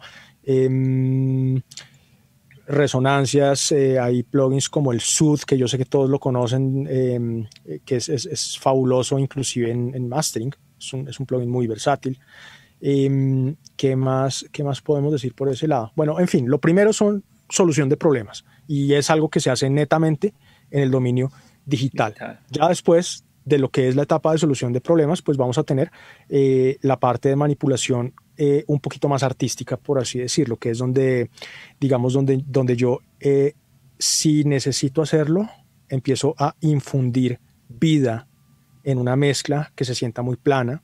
es donde yo empiezo a hacer algunas alteraciones tonales Em, alteraciones dinámicas. Yo, yo no uso compresión en mastering, todo lo contrario, mi, mi, approach es completamente a la inversa, pues yo trabajo eh, es a punta de descompresión.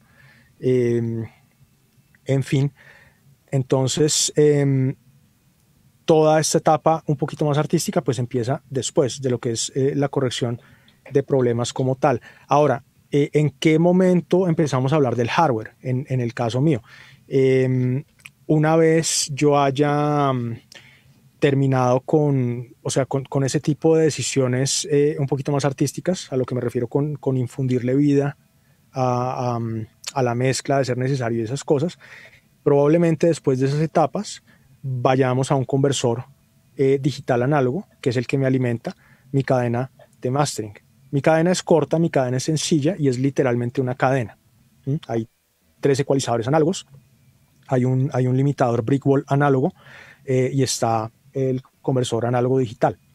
Entonces, em, básicamente yo lo que hago acá afuera con los ecualizadores análogos es, puro, es puro moldeo tonal. Yo no soluciono cosas acá afuera en análogo. Em, y el tipo de problemas habituales a los que yo me enfrento no son problemas que puedan resolverse en el dominio análogo realmente. Entonces, pues hay herramientas mucho más especializadas y mucho más eficientes que tratar de resolver eh, problemas eh, importantes de desbalances eh, tonales o instrumentales en el dominio análogo. Sin embargo, lo que es el moldeo tonal, me gusta hacerlo acá, me gusta, me gusta sentir las perillas, me gusta poder, poder manipularlas y sentir. Básicamente es, es, es, es eso. Entonces, para mí es muy importante poder tocar esto, tocar esto y, llegar, llegar al punto que quiero, seguir ajustando y también empezar a controlar la interacción entre esto y lo que está sucediendo digitalmente adentro en, mi sesión, porque es que todo, o sea, realmente el resultado es un conjunto de muchas cosas, una encima de otra y de todo interactuando con todo. Básicamente lo que yo estoy haciendo acá eh, en estos ecualizadores pues va a interactuar con lo que, con lo que, con lo que tenga después en la cadena digitalmente cuando vuelva. Eh, cuando vuelva a entrar este audio análogo a mi sesión de, de, Pro Tools, ¿cierto? Em, entonces, preguntabas por la importancia de, de, los convertidores, pues lógicamente que si tienes una cadena análoga eh, de mastering, em, los conversores son, son determinantes, porque tú vas a querer, tú vas a querer conversión que sea, que sea perfecta, tan perfecta como sea posible, del nivel más alto pues que sea posible, de las especificaciones más altas que sea posible. Entonces, pues yo aquí tengo una selección interesante de conversores, eh, dos de ellos que son de mi diseño propio, pero eso es, bueno, eso es más un, es más un capricho eh, por tener eh, un concepto de máquina que no existe en el mercado y realmente me ha funcionado muy, muy bien, pero es básicamente un, capricho, un pequeño lujo que me puedo dar, pues, em, de tener algo muy específico que, que, que no logré conseguir de otra manera pues sin embargo pues aquí aquí la conversión la manejan varias piezas pero pues aquí está está el Burl el B2 Bomber eh, también está el, Crane Song el Solaris eh, están los conversores míos a tubos eh, bueno, está la, la Lynx, la Aurora, pero la Aurora no trabaja como conversor análogo digital ni digital análogo, sino trabaja como un, como un centro de conexiones digital. Para eso es para lo que la uso. en fin, pero la importancia, pues es, realmente es, determinante, porque es que si, si, si, vas a sacar audio digital de tu computadora al dominio análogo, eh, a menos que lo hagas al nivel más alto posible, ya estás degradando la señal. Es que de hecho la sola conversión eh, podría verse como una degradación de la señal, en eso estoy de acuerdo. Eh, el solo hecho de convertir. Entonces, al menos creo que hay que asegurarse que si uno va a hacer esa degradación, hay que hacerla con toda la altura posible, pues. Ok, ok. Mira, aquí me están preguntando, Camilo, ¿nos puedes dar un ejemplo o una pequeña demostración de lo que es la descompresión? Vamos a la sesión. Vamos a la sesión. Les voy a compartir la pantalla nuevamente. Eh, un momento, un momento, un momento. Share screen. Ok. Pantalla 1. ¿Tenemos pantalla? Eh, muy bien. Ok, eh, yo, sé que, yo, sé que, yo sé que el término de compresión no, no necesariamente es tan socialmente aceptado, em, pero digamos que refleja, refleja mucho de lo que es eh, mi visión. Cuando yo me refiero a, descomprimir algo, básicamente me estoy refiriendo a tomar zonas de congestión, como dije antes, zonas de congestión o zonas de, de dolor las cuales eh, yo quiero aliviar, quiero aliviar ese dolor en esas, en esas zonas. ¿De dónde viene, de dónde viene este, este uso mío del término descompresión? Mm, en algún momento mencioné, yo hace, hace muchos años estuve muy mal de la muñeca, estuve muy mal del, del, túnel eh, y estuve pues a punto de tener que abrirme la muñeca para repararla. Entonces, ¿qué pasa, qué pasa con estas enfermedades del, del túnel? Básicamente, el nervio mediano que pasa por la muñeca es comprimido por eh, los ligamentos. Entonces, lo que hay que hacer es básicamente abrir eh, la muñeca, cortar el ligamento de manera que la compresión sobre el nervio se alivia y, por tanto, aliviando el dolor. Esa visión de, lo que estaba sucediendo con mi muñeca es una visión que se me quedó eh, y que empecé como a, digamos, como a extrapolar eso aquí a, estos conceptos de, del audio y de los procesos dinámicos. Entonces, yo quiero pensar que por medio de descomprimir zonas de dolor y zonas de presión estoy contribuyendo a aliviar el dolor en un tema, en un tema donde haya, donde haya zonas realmente, realmente eh, dolorosas, congestionadas que, probablemente me estén causando algún, algún problema o que el tema se ponga turbio, que el tema se ponga áspero, que no haya suficiente claridad en ciertas zonas, todo eso eh, lo soluciono aliviando el dolor eh, con base a ese concepto de mm, descompresión. Ahora, y yo lo he mencionado antes en varias ocasiones, eh, el término descompresión el solo uso de usar ese término de descompresión en vez de usar un término más, digamos, universal y más técnicamente correcto como expansión, eh, el solo uso de este término de descompresión está asumiendo que yo estoy arrancando con un material que naturalmente ya está comprimido, ¿cierto? que ya hay procesos dinámicos que sucedieron allí, procesos de reducción de rango dinámico, lo cual lamentablemente debo decir que en la casi que en la totalidad de los casos es cierto, los problemas que yo tiendo a solucionar con, con descompresión, con esta idea de la descompresión, son problemas que en gran medida han sido causados eh, por exceso o por, por, mala dosificación de procesos eh, dinámicos. Entonces, eh, yo lo que trato es de, digamos, de, revertir un poco el, daño, de infundir vida, de ser necesario, sobre, sobre ciertas zonas de, de dolor y presión. a ver, ¿qué, ¿qué, ejemplo se me ocurre acá sin, sin complicarnos mucho la vida? Mm, déjenme coloco, voy a colocar esto, tal vez, tal vez tenga que improvisar un poquito sobre la marcha, pero vamos, vamos a ver qué se nos ocurre acá. Agarremos el, agarremos el IQEQ. Voy a anular todo esto. Y quiero que nos concentremos em, de memoria. Quiero, quiero que nos concentremos. Em, quiero que nos concentremos en la zona donde está el tambor alegre. Eh, hay, hay, hay, una zona que, es, que tiende a ser muy complicada. Que tiende a ser muy complicada de, de, de, de digamos, de, llegar a ubicarla en el punto correcto eh, que es la zona de los medios bajos eh, rondando los 200 Hz. Es una zona muy complicada de trabajar eh, porque digamos que la, la, línea entre dejar el tema delgado o dejar el tema turbio y sucio puede ser muy fina. Entonces es una zona compleja, es una zona compleja de trabajar. Em, quiero que escuchemos lo que hay en este tema em, y quiero que comenten un poquito lo que sienten en esa zona. voy a colocar inicialmente voy a colocar eh, la mezcla, voy a poner esto en input monitor para, escuchar la mezcla a través de una pseudo cadena que conserva algunos de los procesos que usé en la sesión original de mastering, pero no eh, es completa porque esta sesión pues lógicamente tiene, una cadena análoga también sucediendo, pero digamos que nos, va a servir para responder la pregunta de la mejor forma posible. Entonces quiero que se concentren en esa zona y quiero que lo comenten.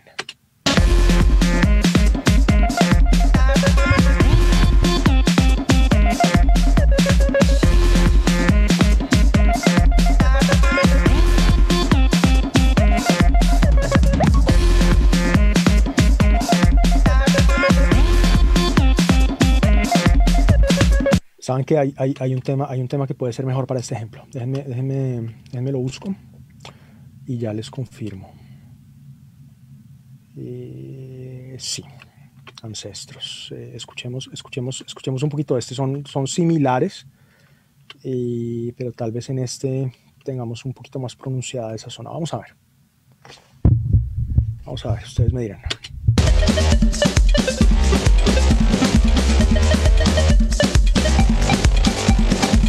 Efe.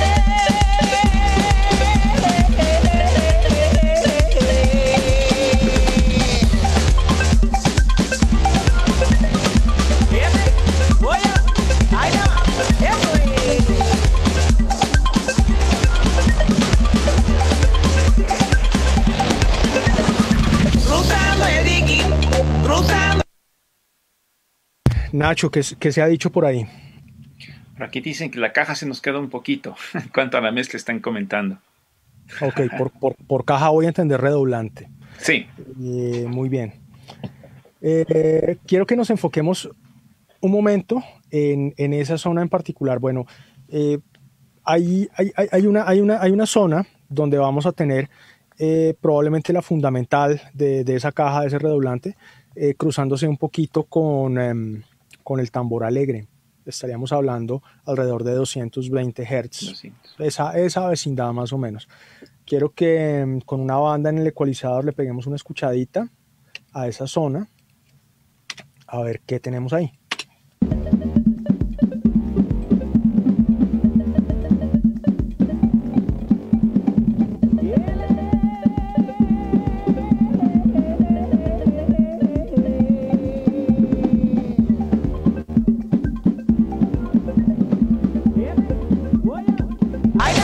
Muy bien, efectivamente, pues gran parte de la energía del ataque del tambor alegre está ahí en esa zona y tenemos un poquito de, de, choque con, con, la fundamental del, em, del snare, del redoblante, aunque está un poco más, eh, un poco más abajo.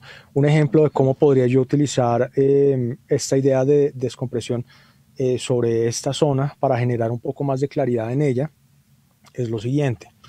Nosotros vamos a arrancar, nosotros vamos a arrancar sobre algo que yo llamo el punto neutro, así como, como los mecánicos, el punto muerto, el punto neutro de los pistones. Eh, mi punto neutro, pues va a ser, por supuesto, ganancia cero, cero de vez, de ganancia estática. Ojo, eh, cuando utilizamos ecualizadores dinámicos y estas cosas, nosotros eh, podemos hablar de ganancia estática y de ganancia dinámica, ¿cierto?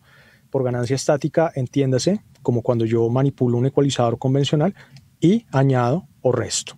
Sí, es básicamente ganancia, ganancia estática, es, esto. O sea, estoy aumentando acá 7 dB en 246 Hz o estoy restando eh, menos 8.6 en esa misma zona. Eso sería ganancia estática, ¿correcto? Eh, y sobre esa ganancia estática podemos tener lo que es eh, la variación de ganancia dinámica, que es básicamente cómo nuestra banda responde dinámicamente a la señal y nos genera un incremento de la señal o una reducción de la señal. Funciona en ambos sentidos, funciona incremento o funciona en decremento. o sea, podríamos, podríamos asociarlo a compresión cuando hay reducción de ganancia en, esta zona específica, pues para el ejemplo, o eh, podríamos hablar de, compresión, de descompresión, eh, cuando tenemos un incremento en, esta, en esta zona, mm. ¿cierto? Pero, y todo va a girar en torno pues a la señal de control que estemos usando. Por señal de control me refiero pues eh, a, a, qué, a estamos usando como señal de disparo para la compresión o, de compresión. Todos sabemos que un compresor eh, tiene una cadena de audio y tiene una cadena paralela que se llama el sidechain, que es el encargado de generar las señales de control, que son eh, las que determinan cómo responde el compresor, cómo ataca, cuándo ataca, cuándo suelta, qué tanto comprime. Eh, etcétera, etcétera, etcétera. Entonces, em, ¿qué sucede? Yo lo que voy a hacer es tomar esta zona, digamos, voy a tomar 250 Hz, y lo que voy a hacer inicialmente es una reducción estática de ganancia, digamos, de... Creo que voy a tener que exagerar los ejemplos. Yo sé que eh, yo aquí lo voy a sentir gigantesco, pero yo sé que no todos eh, lo van a sentir tan profundo si lo hago a mi manera. Entonces lo que voy a hacer es, voy a, exagerar el ejemplo acá, voy a, voy a reducir 3 dB de ganancia estática en 250 y voy a darle play. Ustedes se van a dar cuenta que pues abrimos un boquete más o menos importante en esa zona y que además de, mm, además de reducir eh, bastante el ataque del tambor alegre, pues vamos a adelgazar un poco la zona del snare de este tema.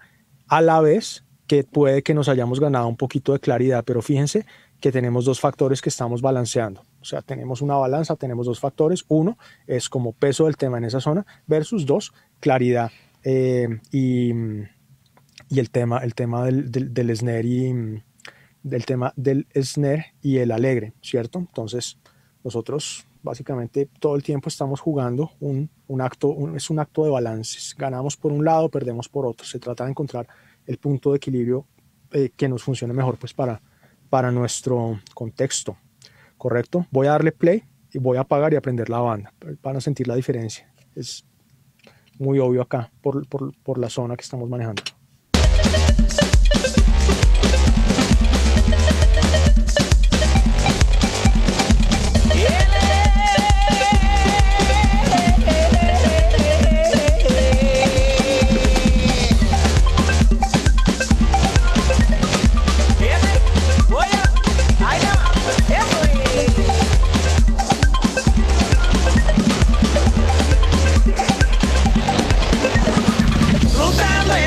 Bueno, yo creo que ya tienen más o menos la idea. ¿A qué, a qué, voy, a qué voy con esto? Em, si yo hago esta reducción acá, efectivamente el tema clara, pero le pierdo un montón de potencia al alegre y también al redoblante, aunque es mucho más dramático el efecto en el, em, en el alegre, ¿cierto? ¿Qué podría hacer yo para tener acá lo mejor de los dos mundos? Es decir, lo mejor de hacer el corte en esa zona que está un poquito delicada, a la vez que eh, algo me invento para que el alegre no pierda eh, su potencia gracias a este corte que estamos haciendo con ganancia estática negativa, ¿correcto? Entonces, ¿qué quiero hacer yo acá? Yo quiero eh, pensar en una forma en que yo pueda usar decompresión, descompresión en esta zona, descompresión que sea controlada por una señal de control que salga del ataque del alegre, ¿cierto? De manera que cuando el alegre haga su golpe, esta banda tenga una ganancia dinámica positiva y me retorne la señal a este punto neutro de manera momentánea, descomprimiendo esta zona, dejando pasar al alegre, pero cuando él pasa, vuelve a su punto de ganancia estática negativa en menos 3 dB. Eh, hasta ahí me siguen. Bueno, espero que me estén siguiendo hasta ahí. Más o menos la idea. Muy bien, ya, ya les vi las caras por ahí. Ok, me siguen. Genial. Em, muy bien. Mm. Entonces, lo siguiente que tenemos que pensar es de dónde vamos a sacar esa señal de control y cómo vamos a configurar eh, nuestra banda de descompresión para que toda esta idea pues funcione, funcione más o menos bien. Mm, lo primero que podríamos hacer es, em, bueno, podemos pensar que en la mezcla como tal, esa señal del alegre es bastante prominente si yo la busco en un analizador de espectro, estoy seguro que la voy a ver con suficiente separación respecto a todo lo que está sucediendo en esa zona de frecuencias. Eso lo, lo podemos comprobar en un momento. Eh, abramos, abramos un, un, analizador. Yo lo he dicho también en repetidas ocasiones. Yo esto no lo uso para tomar decisiones. De hecho, hay, hay, hay, hay días que ni siquiera lo abro. Pero hay ocasiones donde yo tengo que estar a la cacería de em, aspectos individuales y puntuales, como en este caso, por ejemplo, buscar eh, la frecuencia exacta donde tengo la fundamental del alegre, y eso es lo que voy a hacer acá. Eh, digamos, a oído podría estar sobre los 220, 225 Hz, pero con el analizador vamos a la fija y confirmamos la frecuencia exacta donde está esa fundamental. Eh, es lo primero que vamos a hacer. Ya van a entender para qué.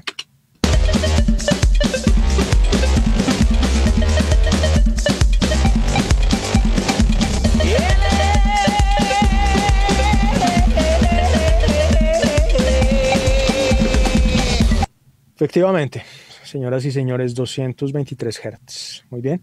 Y se pueden dar cuenta pues que la señal eh, es bastante fácil distinguirla visualmente y audiblemente también. Y si es bastante fácil distinguirla tanto visual como audiblemente, probablemente sea muy fácil eh, separarla eh, con algún tipo de filtrado y usarla como señal de control para disparar una decompresión en esta zona.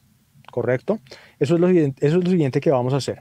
Em, en este momento, si se fijan bien, tenemos la banda 2 de este ecualizador, la tenemos configurada como banda estática. Voy, a agrandar esto lo más que pueda, eh, de manera pues que podamos verlo lo mejor posible, que yo sé que por las circunstancias pues no es lo mejor, pero creo que nos va a tener que funcionar así.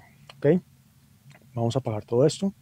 Banda 2, ganancia estática menos 3. Ahora, cada banda estática tiene debajo su sección dinámica.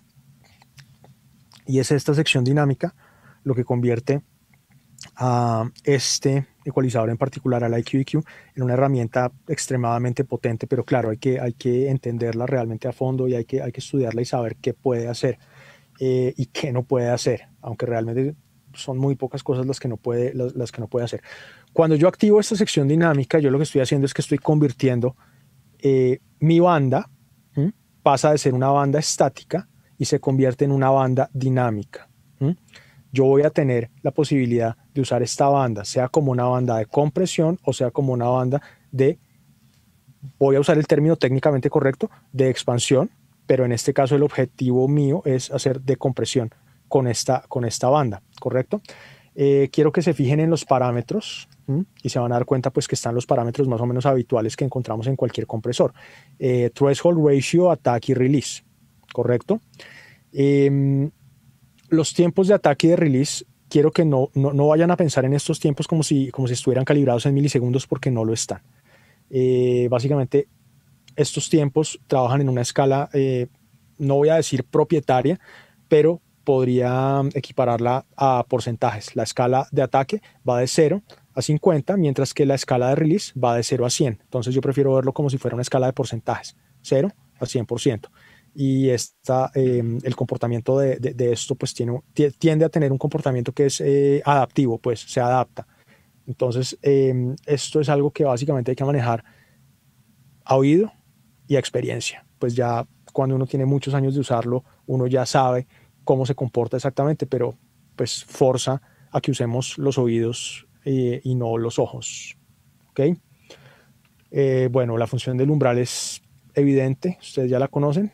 Y el ratio, aquí tenemos un asunto, y es que el ratio, si se fijan bien, está en 3 a 1. Nosotros ya sabemos que una relación de x a 1 significa que cualquier señal que supere mi threshold va a ser eh, reducida en una proporción de x a 1, donde X decibeles entran y sale 1. Si 3 decibeles superan mi threshold, eh, pues va a salir 1 en principio. Estas matemáticas funcionan bien, digamos, en, el papel, pero en la práctica sabemos que eh, esos valores de reducción de ganancias siempre van a estar influenciados por los tiempos de ataque y de release. Así que eh, el 3 a 1, el 2 a 1, las relaciones de compresión nos sirven para darnos una idea, pues, digamos, de, de qué tan, de qué tan, em, de qué tan duro es el codo, la curva de compresión, Em, pero no necesariamente vamos a poder eh, saber cómo se va a comportar sin haberlo escuchado y sin haber pues ajustado correctamente para nuestras eh, fuentes. Ahora, em, fíjense que yo puedo ir tan bajo acá como un 1.2 a 1, que es la relación de compresión más, más suave, más sutil que me permite el HOFA, 1.2 a 1. Em, y si sigo bajando, voy a encontrarme que cambia el color, cambia a blanco y arrancan las relaciones inversas, las relaciones que son de eh, expansión. En este caso, aquí ya em, estamos en 1 a 2. Quiere decir que por cada decibel que supere el threshold, van a salir 2, ¿cierto? Y esto puede ir hasta 1 a 12. Así como por el lado de la compresión puede ir hasta 12 a 1. Ahora, ¿qué voy a hacer yo? Voy a colocar esto en una relación, eh, por ejemplo, un 1 a 2 para empezar. ¿Qué quiere decir esto? Por cada decibel que supere el threshold, pues eh, voy a causar un incremento de ganancia focalizado en esta zona de 2 decibeles. Em, en este momento, con esta banda configurada de esta forma, la señal eh, de control, es decir, la señal que se usa para disparar esta, en este caso, esta eh, de compresión que queremos hacer acá, es una señal interna y es la misma que tenemos acá en nuestra banda de ganancia estática. Cuando yo coloco esto en solo, lo que voy a hacer es escuchar la señal de control. Escuchen.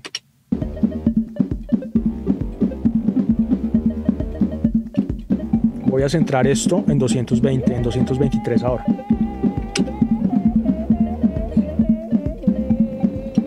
¿correcto? Esa, esa es mi señal de control. Claro, esa, esa es la banda que estoy trabajando, pero también en este momento es mi señal de control. Y en esa señal de control, pues digamos que hay, eh, hay, hay, suficiente información dinámica para causar que si yo empiezo a reducir mi threshold en este momento, eh, voy a causar necesariamente una, una decompresión acá que va a estar principalmente gobernada por esa señal del alegre.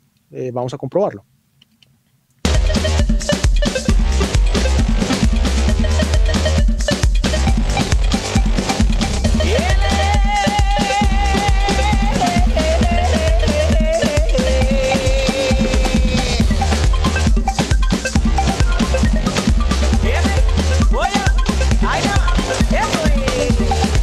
Se dan cuenta cómo la ganancia dinámica hace que volvamos al punto neutro, eh, controlado por el ataque eh, del, del, alegre.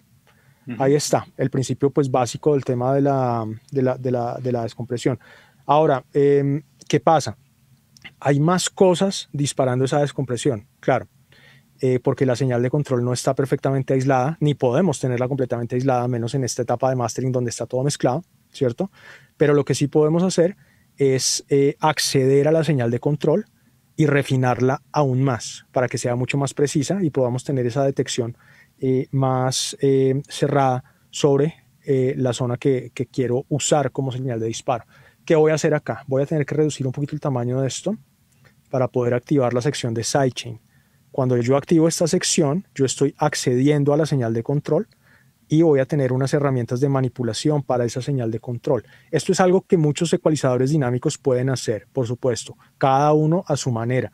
Eh, solamente que yo me siento muy cómodo y siempre me he sentido muy cómodo con la ergonomía de este ecualizador. Yo sé que no se ve bonito como otros, pero déjenme decirles que la ergonomía es, perfecta y consume menos recursos visuales a mi, a mi forma de ver.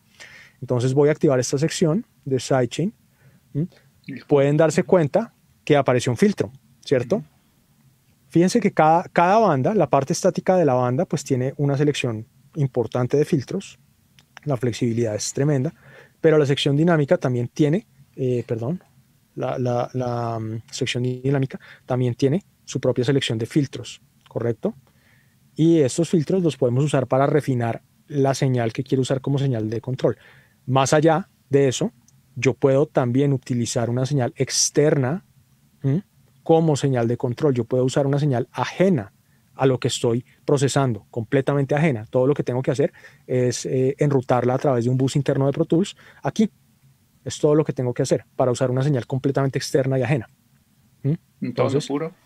Eh, lo que quieras, Nacho. Pero, pues lógicamente, las aplicaciones, las aplicaciones de esto solamente pueden ser determinadas y limitadas por la creatividad de cada uno y pues por supuesto por el nivel de, de, profundidad en que uno conozca esto y el nivel digamos ya de experticia eh, basado pues en, en, en, haber desarrollado todas esas ideas que se van ocurriendo a lo largo de los, de, los años, pero realmente las posibilidades que abre esto eh, no se agotan. Y esto es, o sea, esto, esto es algo que al día de hoy es una de las columnas vertebrales de mi flujo de trabajo. Mi flujo de trabajo se centra en señales de control y en señales de control externas también, tal cual, que es una, bueno, es una forma de abordar el mastering que es inusual, yo sé, pero pues que al final me da los resultados que yo quiero, que, que, me funcionan y que mis clientes disfrutan.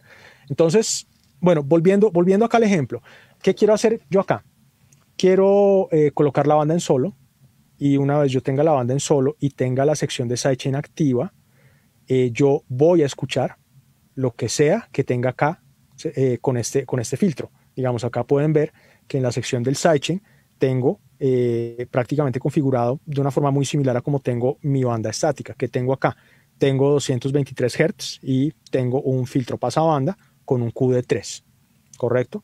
Al yo solo, eso es lo que voy a escuchar justamente, lo que tengo acá en la señal de control, la señal de sidechain. Vamos a escuchar.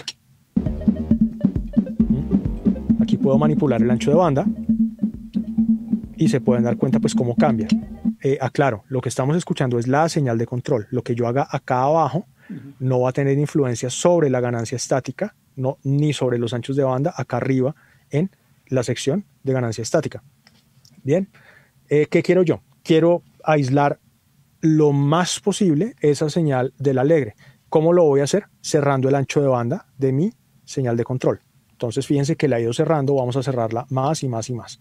Hay una cosa muy bonita del Hofa y es que tiene unos anchos de banda que pueden ser extremadamente cerrados, más que otros ecualizadores.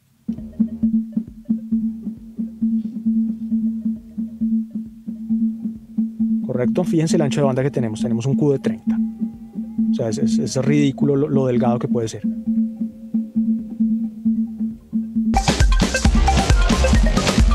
Ahora, ¿qué sucede? Eso que dejamos ahí con ese Q de 30 se convierte en nuestra señal de control, ¿correcto? Y esa señal de control ahora es mucho más pura y mucho más aislada sobre la fundamental del alegre. Ya podemos eh, pasar nuevamente a reajustar mi threshold acá para obtener la descompresión que quiero gobernada desde la señal de control del alegre. Entonces vamos a manipular un poquito esto.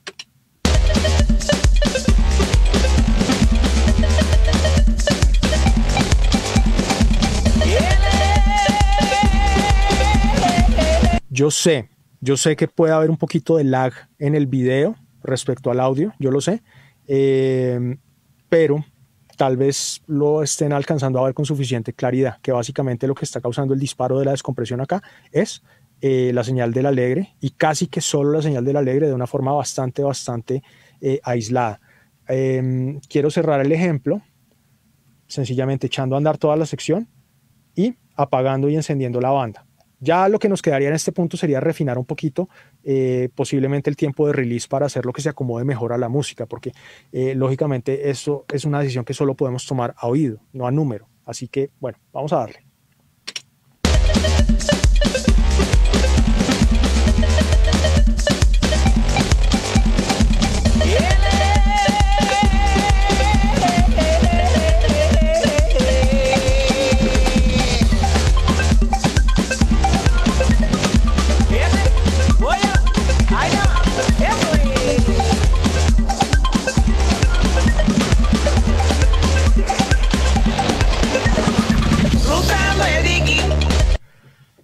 Claro, hay una diferencia importante ahí, ¿no? Eh, ya con la descompresión activa, eh, el tema se aclara en esa zona, que es lo que logramos inicialmente con la ganancia estática, pero el mismo alegre eh, permite que el alegre pase, mientras que lo demás se queda atrás.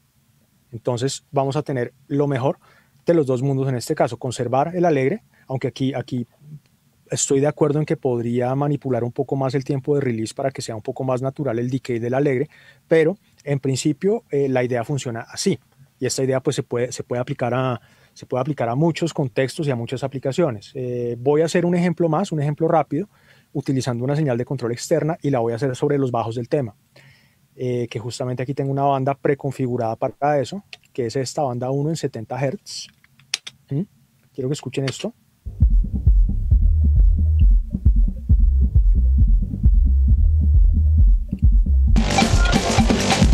¿Qué voy a hacer acá? Em, aquí voy a dejar la ganancia estática completamente quieta. Digamos que aquí esta maniobra que voy a hacer es una maniobra más de, em, eh, digamos, más de, más de infundir algo que de, que, de solucionar algún problema. Pero es, es, una, es una maniobra que es, es, habitual en mi flujo de trabajo y hay casos donde realmente funciona funciona súper, súper bien para recuperar y aclarar la parte de abajo de un tema. Eh, lo que voy a hacer acá, en este caso, es utilizar una señal de control externa, que ya la tengo preconfigurada y preruteada. Quiero que escuchen esa señal de control externa en este momento. Em, de cómo generarlas y todo eso, pues hablaremos en, otro momento, pero básicamente la señal de control externa que tengo aquí es una separación del bit del tema.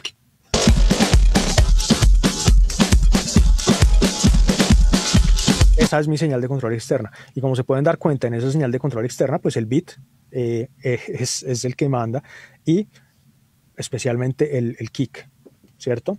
Entonces lo que voy a hacer es tomar esa señal de control externa para disparar em, algo de, de, compresión en esta zona de acá, ¿cierto? Pero más en un sentido aditivo, es decir, no vamos a, no vamos a tratar de, de, de restar para llegar a punto neutro, sino que vamos a arrancar desde punto neutro y añadir un poco.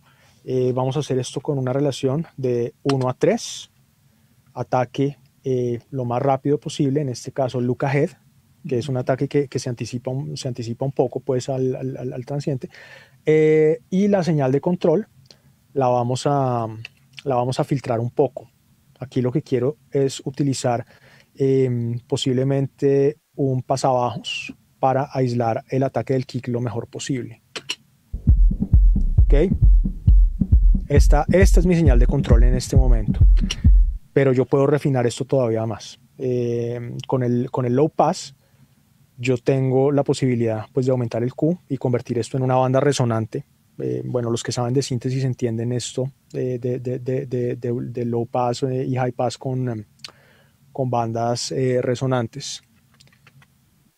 A ver, acá estamos. Muy bien perdón, con, picos resonantes, quise decir, eh, utilicé mal el, mal el término. Entonces, lo que voy a hacer es aumentar el Q para tener un pico resonante acá y voy a moldear esto para tener una señal no con tanto sustain, sino más bien con puro ataque.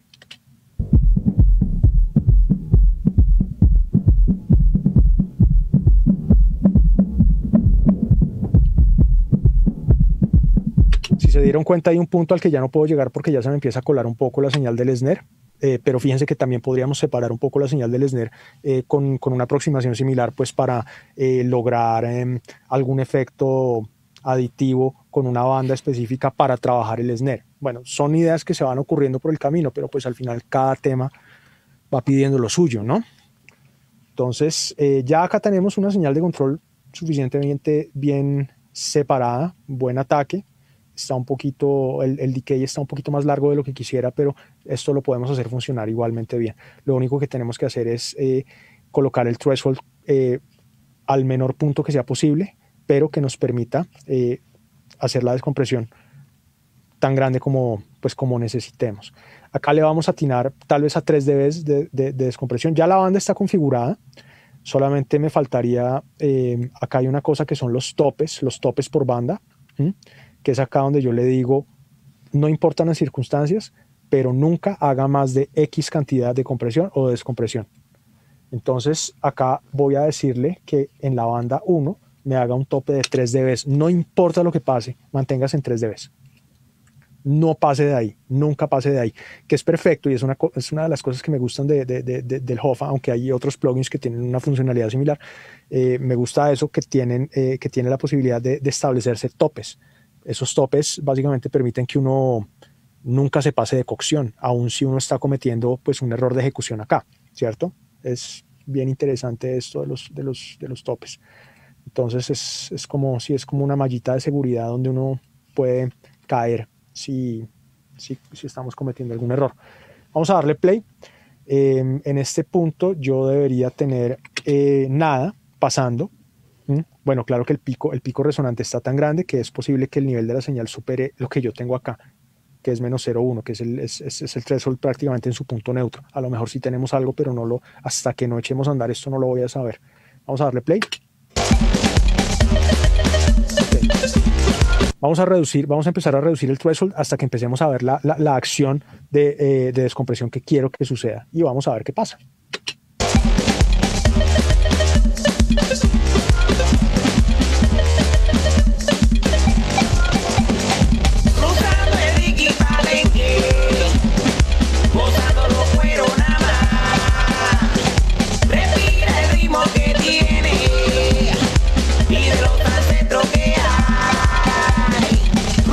Ahí se pueden dar cuenta claramente pues cómo eh, salen más los bajos del tema, pues particularmente eh, el, kick, que es como lo más grande que hay allá abajo, ¿cierto? Sale eh, y eso va a estar controlado pues por estos parámetros de acá. Voy a colocar el, voy a colocar el release, perdón, el release voy a colocarlo lento, voy a colocarlo en 35 o algo así, se van a dar cuenta la, la diferencia. Y voy por el camino a apagar y a prender la banda de manera que pues terminemos de redondear la idea y me terminen de entender lo que estamos tratando de hacer acá.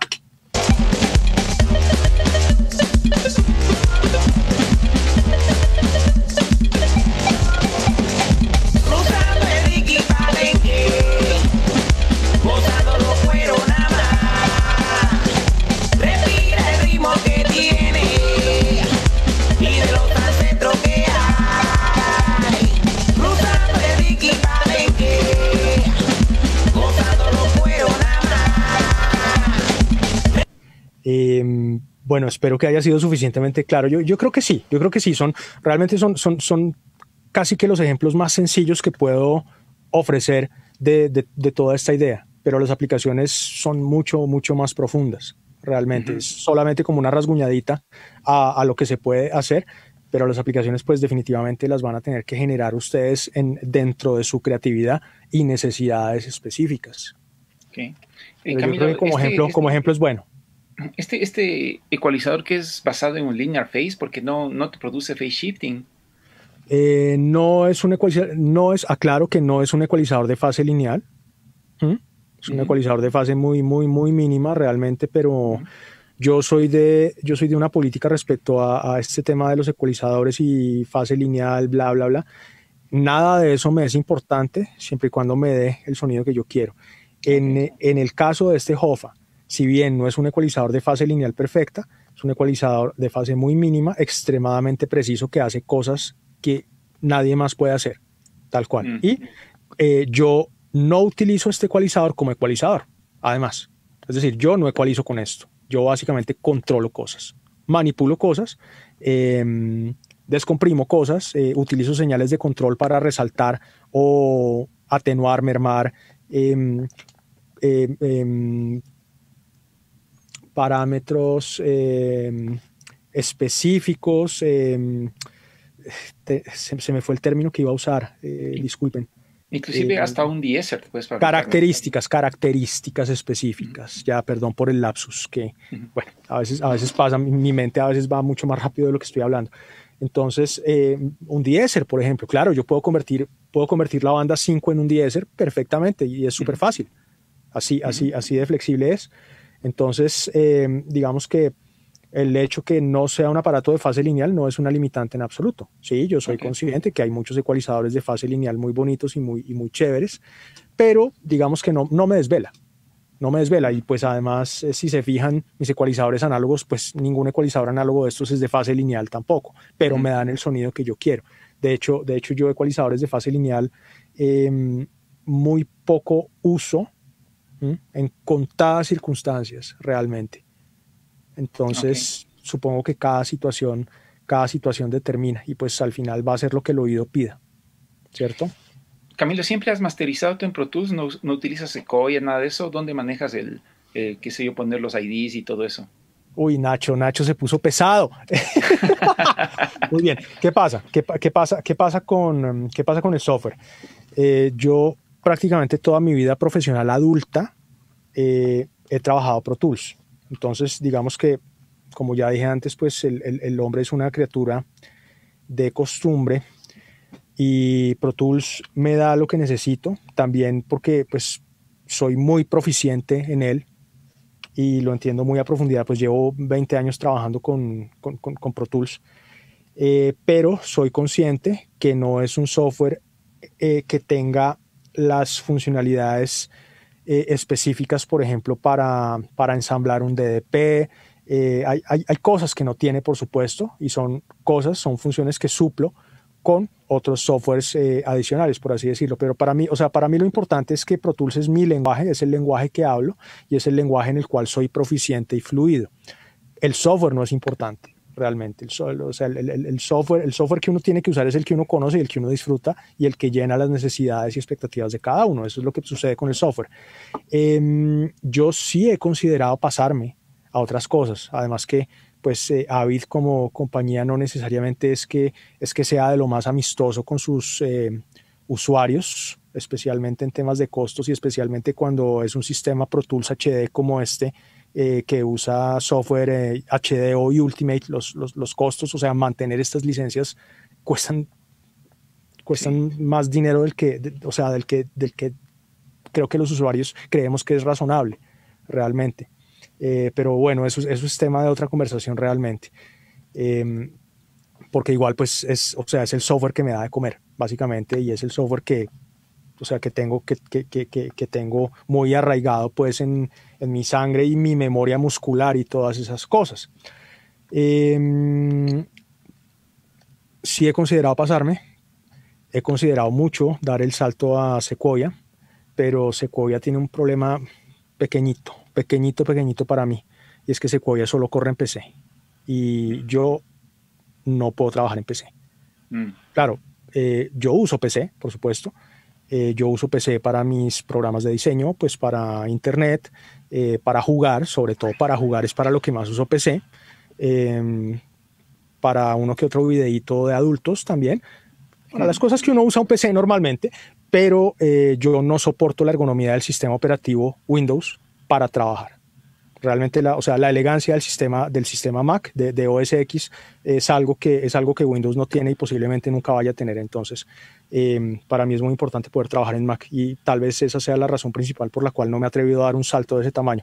No, y lo otro, y lo otro es que, digamos, a estas alturas de mi carrera, dar un salto tan grande me implicaría tal vez parar un tiempo o reducir drásticamente la carga de trabajo durante un tiempo mientras me adapto a la ergonomía del nuevo software, cosa que pues no sería, no sería tan, tan, tan buena para mí en este momento porque la carga de trabajo siempre es, es, es, fuerte. Entonces, estaría, o sea, sería un paso complicado, pero es un paso que me suena interesante. Si algún día Sequoia llega a estar en Mac, lo voy a considerar con, con, seriedad realmente.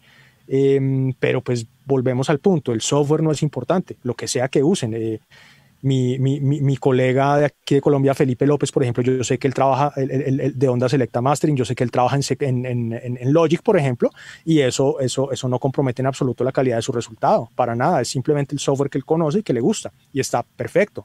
Eh, hay, hay personas que trabajan en Wavelab, bueno, en, fin, esa, esa, esa mm. discusión realmente se convierte en un tema más de, de gusto, supongo, ¿no? Em, ahora, en, en mi infancia, yo pasé, pues pasé por, uh, pasé por Cakewalk en sus primeras versiones, eh, pasé por Nuendo en su primera versión y Nuendo, Nuendo era fabuloso. Hay cosas que Pro Tools no puede hacer que Nuendo hacía hace 20 años. ¿Mm? Entonces, eh, hay, hay, hay, cosas, hay cosas muy interesantes. Al final sí, se convierte, se convierte en un tema de gustos, realmente, y de, y de necesidades. Eh, pero ahora si ustedes voltean a mirar varios ingenieros de mastering de alto nivel, se van a dar cuenta que muchos de ellos eh, son de la escuela mía eh, o que tal vez vengan de un background de, de haber, de haber pasado eh, por ser ingenieros de grabación y de mezcla, ¿sí? O sea, que, que tienen ese, ese tipo, ese tipo de, de formación en estudio, pues, que están acostumbrados a Pro Tools. Por ejemplo, si ustedes, yo sé que todos ustedes conocen a Andrés Mayo y yo, hasta donde recuerdo, Andrés trabaja en Pro Tools.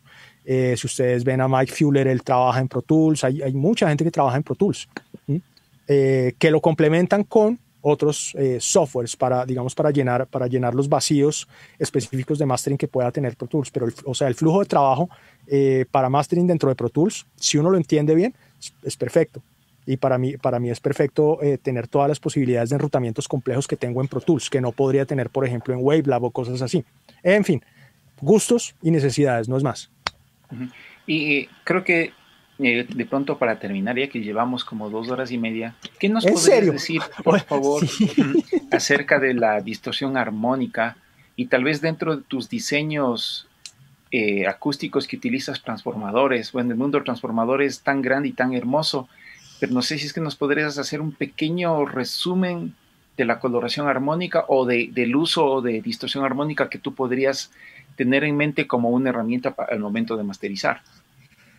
Nacho, a mí, a mí me gustaría separar los dos términos. O sea, me gustaría separar el término coloración del término distorsión armónica, porque coloración no necesariamente implica distorsión armónica. Eh, aunque distorsión armónica sí tiende a implicar un poco eh, coloración, ¿cierto? Porque es que, o sea, cuando tú pasas señal por un transformador, necesariamente la señal está cambiando de cierta forma, por, o sea, por más perfecto que sea el transformador, pero como todo material ferromagnético, tiene unas curvas, eh, tiene, unas curvas de permeabilidad magnética que no son perfectamente lineales. Y es ahí, en, lo no lineal, donde está, digamos, el secreto y la complejidad de, toda la, belleza de lo que son eh, los transformadores. Así como yo perfectamente puedo tener distorsión armónica sin transformadores, uh, perfectamente. Y hay muchos generadores de distorsión armónica que no tienen transformadores, tal cual. No sé si, no sé si conozcan, por ejemplo, el, el, Vértigo, el, el BSM, eh, que es, es, un aparato espectacular, generador de armónicos, pues, y hay muchos aparatos así, tal cual. Entonces, eh, digamos que, que, no necesariamente la, la, la, distorsión está implícita dentro, dentro de lo que es la, la coloración del transformador. Claro que si yo empujo lo suficientemente fuerte cualquier transformador, va a saturar necesariamente. Y eso eh, se, va a, se va a ver manifestado pues en, em, un cambio en la estructura armónica. Cuando yo llego, me acerco, me voy acercando a la zona de saturación del transformador, donde estoy ya saturando el núcleo eh, ferromagnético, pues lógicamente voy a empezar a ver que empiezan a aparecer armónicos, ¿cierto? Posiblemente con una predominancia de tercer orden, pero pues cada transformador tiene lo suyo y ahí sí, o sea, es una cosa, es una cosa demasiado, demasiado compleja. Normalmente nosotros entendemos la, la distorsión de segundo orden como una distorsión que es consonante y la distorsión de tercer orden como una distorsión que es, que es disonante, pero realmente la, la distorsión en equipo análogo tiende a ser mucho más complejo que solo segundo y, tercero. Claro, segundo y tercero van a ser los, los principales y los más dominantes, pero en general puede haber una estructura armónica muchísimo más compleja que eso y, toda, esa, toda esa combinación de, de, de, armónicos descendientes pues es lo que, lo que va a, digamos, a, a determinar un poco lo que es la la huella armónica, podría usar ese término, la huella armónica de, un diseño, ¿cierto? Eso, eso, es lo que, eso es lo que sucede. Ahora, em, todo equipo análogo tiene distorsión, eh, pero no todo equipo análogo tiene distorsión audible em, y pues lógicamente necesitaríamos eh, un entorno de muy alta resolución para, para, llegar a oír esas cosas. A unos valores muy, muy, muy bajos de distorsión realmente. Pues, o sea, el, equipo, el equipo análogo, digamos, de este calibre, ese equipo análogo que tiene una distorsión muy, muy, muy, muy baja, por debajo de 0,001%, por ejemplo, es, completamente inaudible, pero la distorsión está ahí, está ahí, ¿cierto? Eh, el asunto es que realmente es, es despreciable. O sea, estamos hablando de mil, de 100 partes por millón o algo así, por ejemplo, es despreciable realmente. Así como hay eh, aparatos que intencionalmente tienen la posibilidad de saturar o de distorsionar y que van a añadir una cantidad importante de distorsión, tal vez en el rango de 0,1 a 0,5 o a 1%, algo que sea mucho más audible y agresivo, pero eh, como una, digamos, como una posibilidad creativa, ¿cierto? Aquí varias, varias de estas herramientas que están acá están pensadas en, eso. Por ejemplo, este ecualizador, el Boss, que estoy apuntando acá, este ecualizador tiene eh, una función acá, que es una función de saturación del transformador. Este aparato es acoplado con transformadores. Eh, ¿Qué sucede? Yo acá tengo un control de seis posiciones, va numerado de 1 a 6, donde yo puedo saturar más o menos fuerte eh, los transformadores de salida del ecualizador. Al yo saturarlos, me va a cambiar un incremento en los armónicos de baja frecuencia. Eso es lo que causa principalmente, inicialmente, la saturación del transformador acá, ¿cierto? Entonces yo puedo utilizar este control de saturación como si fuera una herramienta de coloración en bajos. A veces lo uso y me gusta, a veces no tiene cabida. Depende, pues, cada caso. Eh, el, convertidor, el, el, AD, el bomber, el B2 que está acá. Si yo, em, si yo, si yo, por ejemplo, saturo intencionalmente sus transformadores. Rara vez lo hago estos días, pero si yo lo hago, eh, pues lógicamente voy a empezar a generar cierto tipo de saturación armónica que puede tener una resemblanza a lo que es una máquina de cinta, una máquina análoga de, cinta. Fíjate cómo eh, cada pasito se va convirtiendo en una posible decisión tal vez un poco más de gusto y creativa que, bueno, debería por supuesto adaptarse al material que estamos trabajando. No es como, ok, eh, reggaetón, saturemos los bajos. No, nada. No, no, no se trata de eso. Se trata, se trata de complementar la fuente tomando eh, las decisiones eh, correctas. O sea, decidiendo con sabiduría y con, pues, lógicamente, con criterio y con mesura lo que vamos a usar y lo que no vamos a usar. Los convertidores de mi diseño a tubos. Em, tengo dos de ellos, los dos acoplados con transformador, pero los dos tienen, a pesar que son muy similares en su circuito, los dos tienen eh, calibraciones y tienen características diferentes. Hay uno, hay uno que es el, rojo, que está calibrado tan perfecto como puede estar calibrado un aparato y tiene una distorsión eh, extremadamente baja, casi tan baja como la del Crane Song, como la del Solaris, mientras que el otro, el azul, tiene una distorsión eh, más marcada de segundo orden. Es un aparato que yo intencionalmente mal calibré para que se comportará de esa forma. Es un convertidor que tiene un contenido armónico más rico, por así decirlo, eh, predominantemente segundo armónico, pero pues lógicamente no es algo que yo vaya a usar en todos los casos. Yo sencillamente tengo una perilla con la cual yo selecciono cuál de los conversores quiero usar y según el caso, eh, al tema puede que le vaya mejor el Solaris, el Crane Song, o puede que lo complemente mejor el convertidor azul que tiene más distorsión. ¿Cierto? Pero fíjate que, fíjate que es, son, son, son, son, herramientas, son herramientas que me permiten tener un poco más de, de, flexibilidad en cuanto, en cuanto a esas sutiles coloraciones análogas o no tan sutiles. Realmente son solo, son solo herramientas, es todo. Es como dije, eh, este tema de los convertidores acá es, es, es un pequeño lujo que, que me puedo dar eh, y es parte pues de la visión mía eh, de, de, de este sitio, ¿cierto? Eh, y, en, y en, tus diseños de preamplificador, tu, tu, preamplificador también creo que puede ir de un sonido muy limpio a uno más lleno de armónicos, un poquito más saturado, ¿verdad? Oye, qué bien se vería uno de mis preamplificadores en tu sala. Sí, sí, ya le ando, ya le ando chequeando ese de hace rato. Y es más, y los otros juguetitos tuyos que tienes por ahí, esos caminos, esos compresores que ya no los haces, creo, ¿no? No, no. Vamos a ver cuándo me puedo pegar el viaje hasta, hasta Quito y bueno, en, fin. No, esperamos tenerte pronto, sí, sí. No, iba a ir, iba a ir, pero pues con, con todo este asunto de, de la pandemia se, se, cayó todo, pero yo, o sea, yo eh, eh, este, en mayo iba a estar allá. En fin, pero eh, volveré, volveré pronto, créanme, volveré pronto y nos veremos las caras. Eh, los preamplificadores, claro, igual es, es, lo que sucede con casi todo preamplificador, eh, que puede ser muy limpio, siempre y cuando se le trabaje dentro de sus límites lineales, o según su diseño y características, lo puedes empujar hacia su zona no lineal, eh, obteniendo eh, cierta cantidad de armónicos. Bueno, no todos los diseños son buenos para eso. Digamos que los diseños que son eh, transistorizados, particularmente los que son de clase A, como el mío, o los diseños a tubos, son los más amigables para, pues, para forzar fuera de su zona lineal. Entonces, sí, porque te, tienes una paleta un poquito más, más grande, pero pues a la vez em, los diseños que son eh, ultra limpios, hiper limpios, em, que son basados en, en, chips, por ejemplo, eh, que tienen una distorsión realmente despreciable, no necesariamente son buenos para, digamos, para intentar saturar. Uno, claro, uno tiene que conocer su herramienta. Entonces, sí, debo decir que mi pre, mi pre es, un, es, un, es un pre que puede sonar muy, muy, muy limpio, pero que si lo empujas te va a dar un poquito de, de color, pero de, de, buen color, de buen color. Ah, ok, Okay. Bueno, pues Camilo, mira, ha pasado ya un buen, hemos pasado un buen momento. Espero que para muchos de nosotros se nos haya aclarado algunos conceptos o, hayamos ampliado nuestro conocimiento en cuanto a, este fabuloso mundo que es la masterización, esta parte del arte de la masterización. Eh, te quiero hablar en, a nombre de la, de la, Escuela de Diseño Sonoro y Producción Musical del IABQ, que estamos muy muy contentos pues de poder haber compartido contigo. Ojalá podamos alguna otra vez compartir algo más y en persona.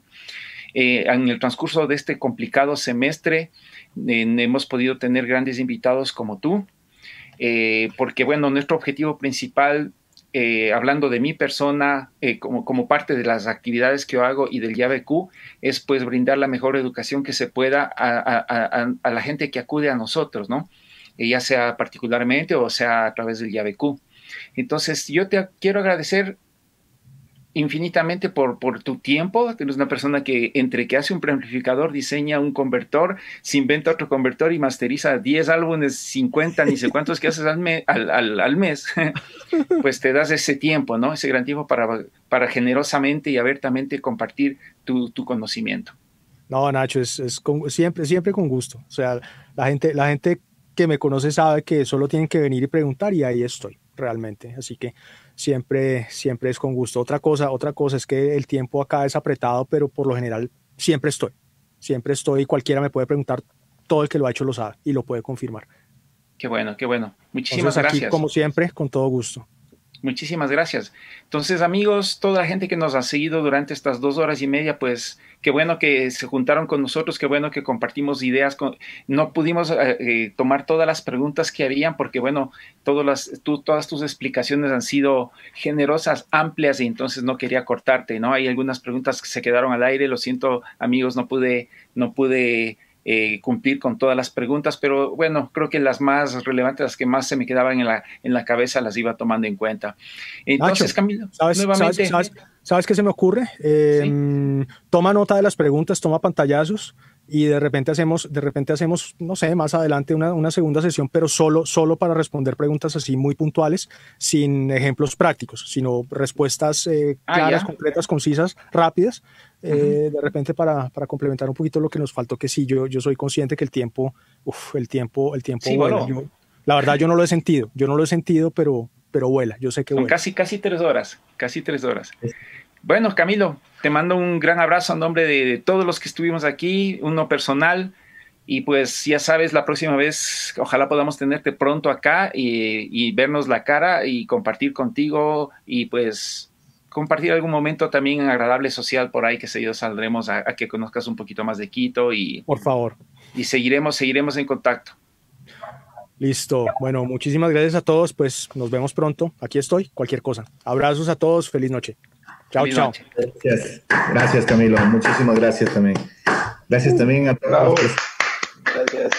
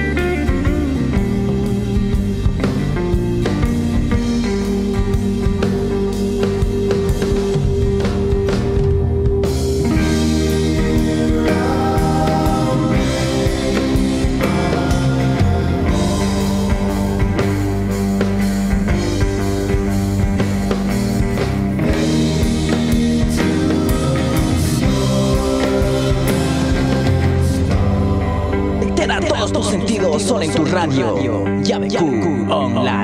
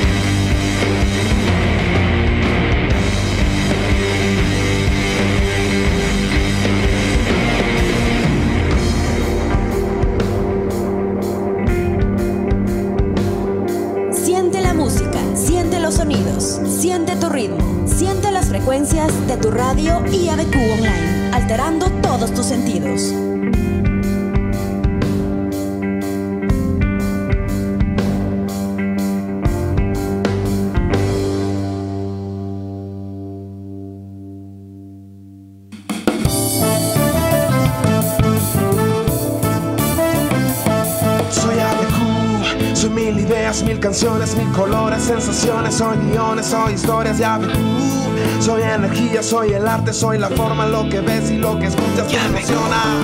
Ya, ah, ah, ah, ya, ah, ah, ah, Soy ABQ, mil ideas, mil canciones, mil colores, sensaciones, soy guiones, ya ABQ, ah. Ya, ah, ah, ah, ya, ah, ah, ah, soy energía, soy el arte, soy la forma, lo que es y lo que escuchas te emociona, ya de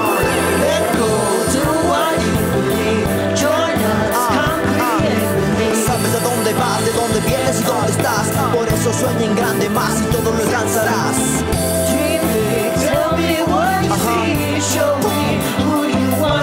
Y siempre para arriba construyendo los cimientos. Mira hoy el horizonte porque el camino está abierto. Soy soy mil ideas, mil canciones, mil colores, sensaciones, soy guiones, soy historias de ABQ. Soy energía, soy el arte, soy la forma, lo que ves y lo que escuchas te emociona.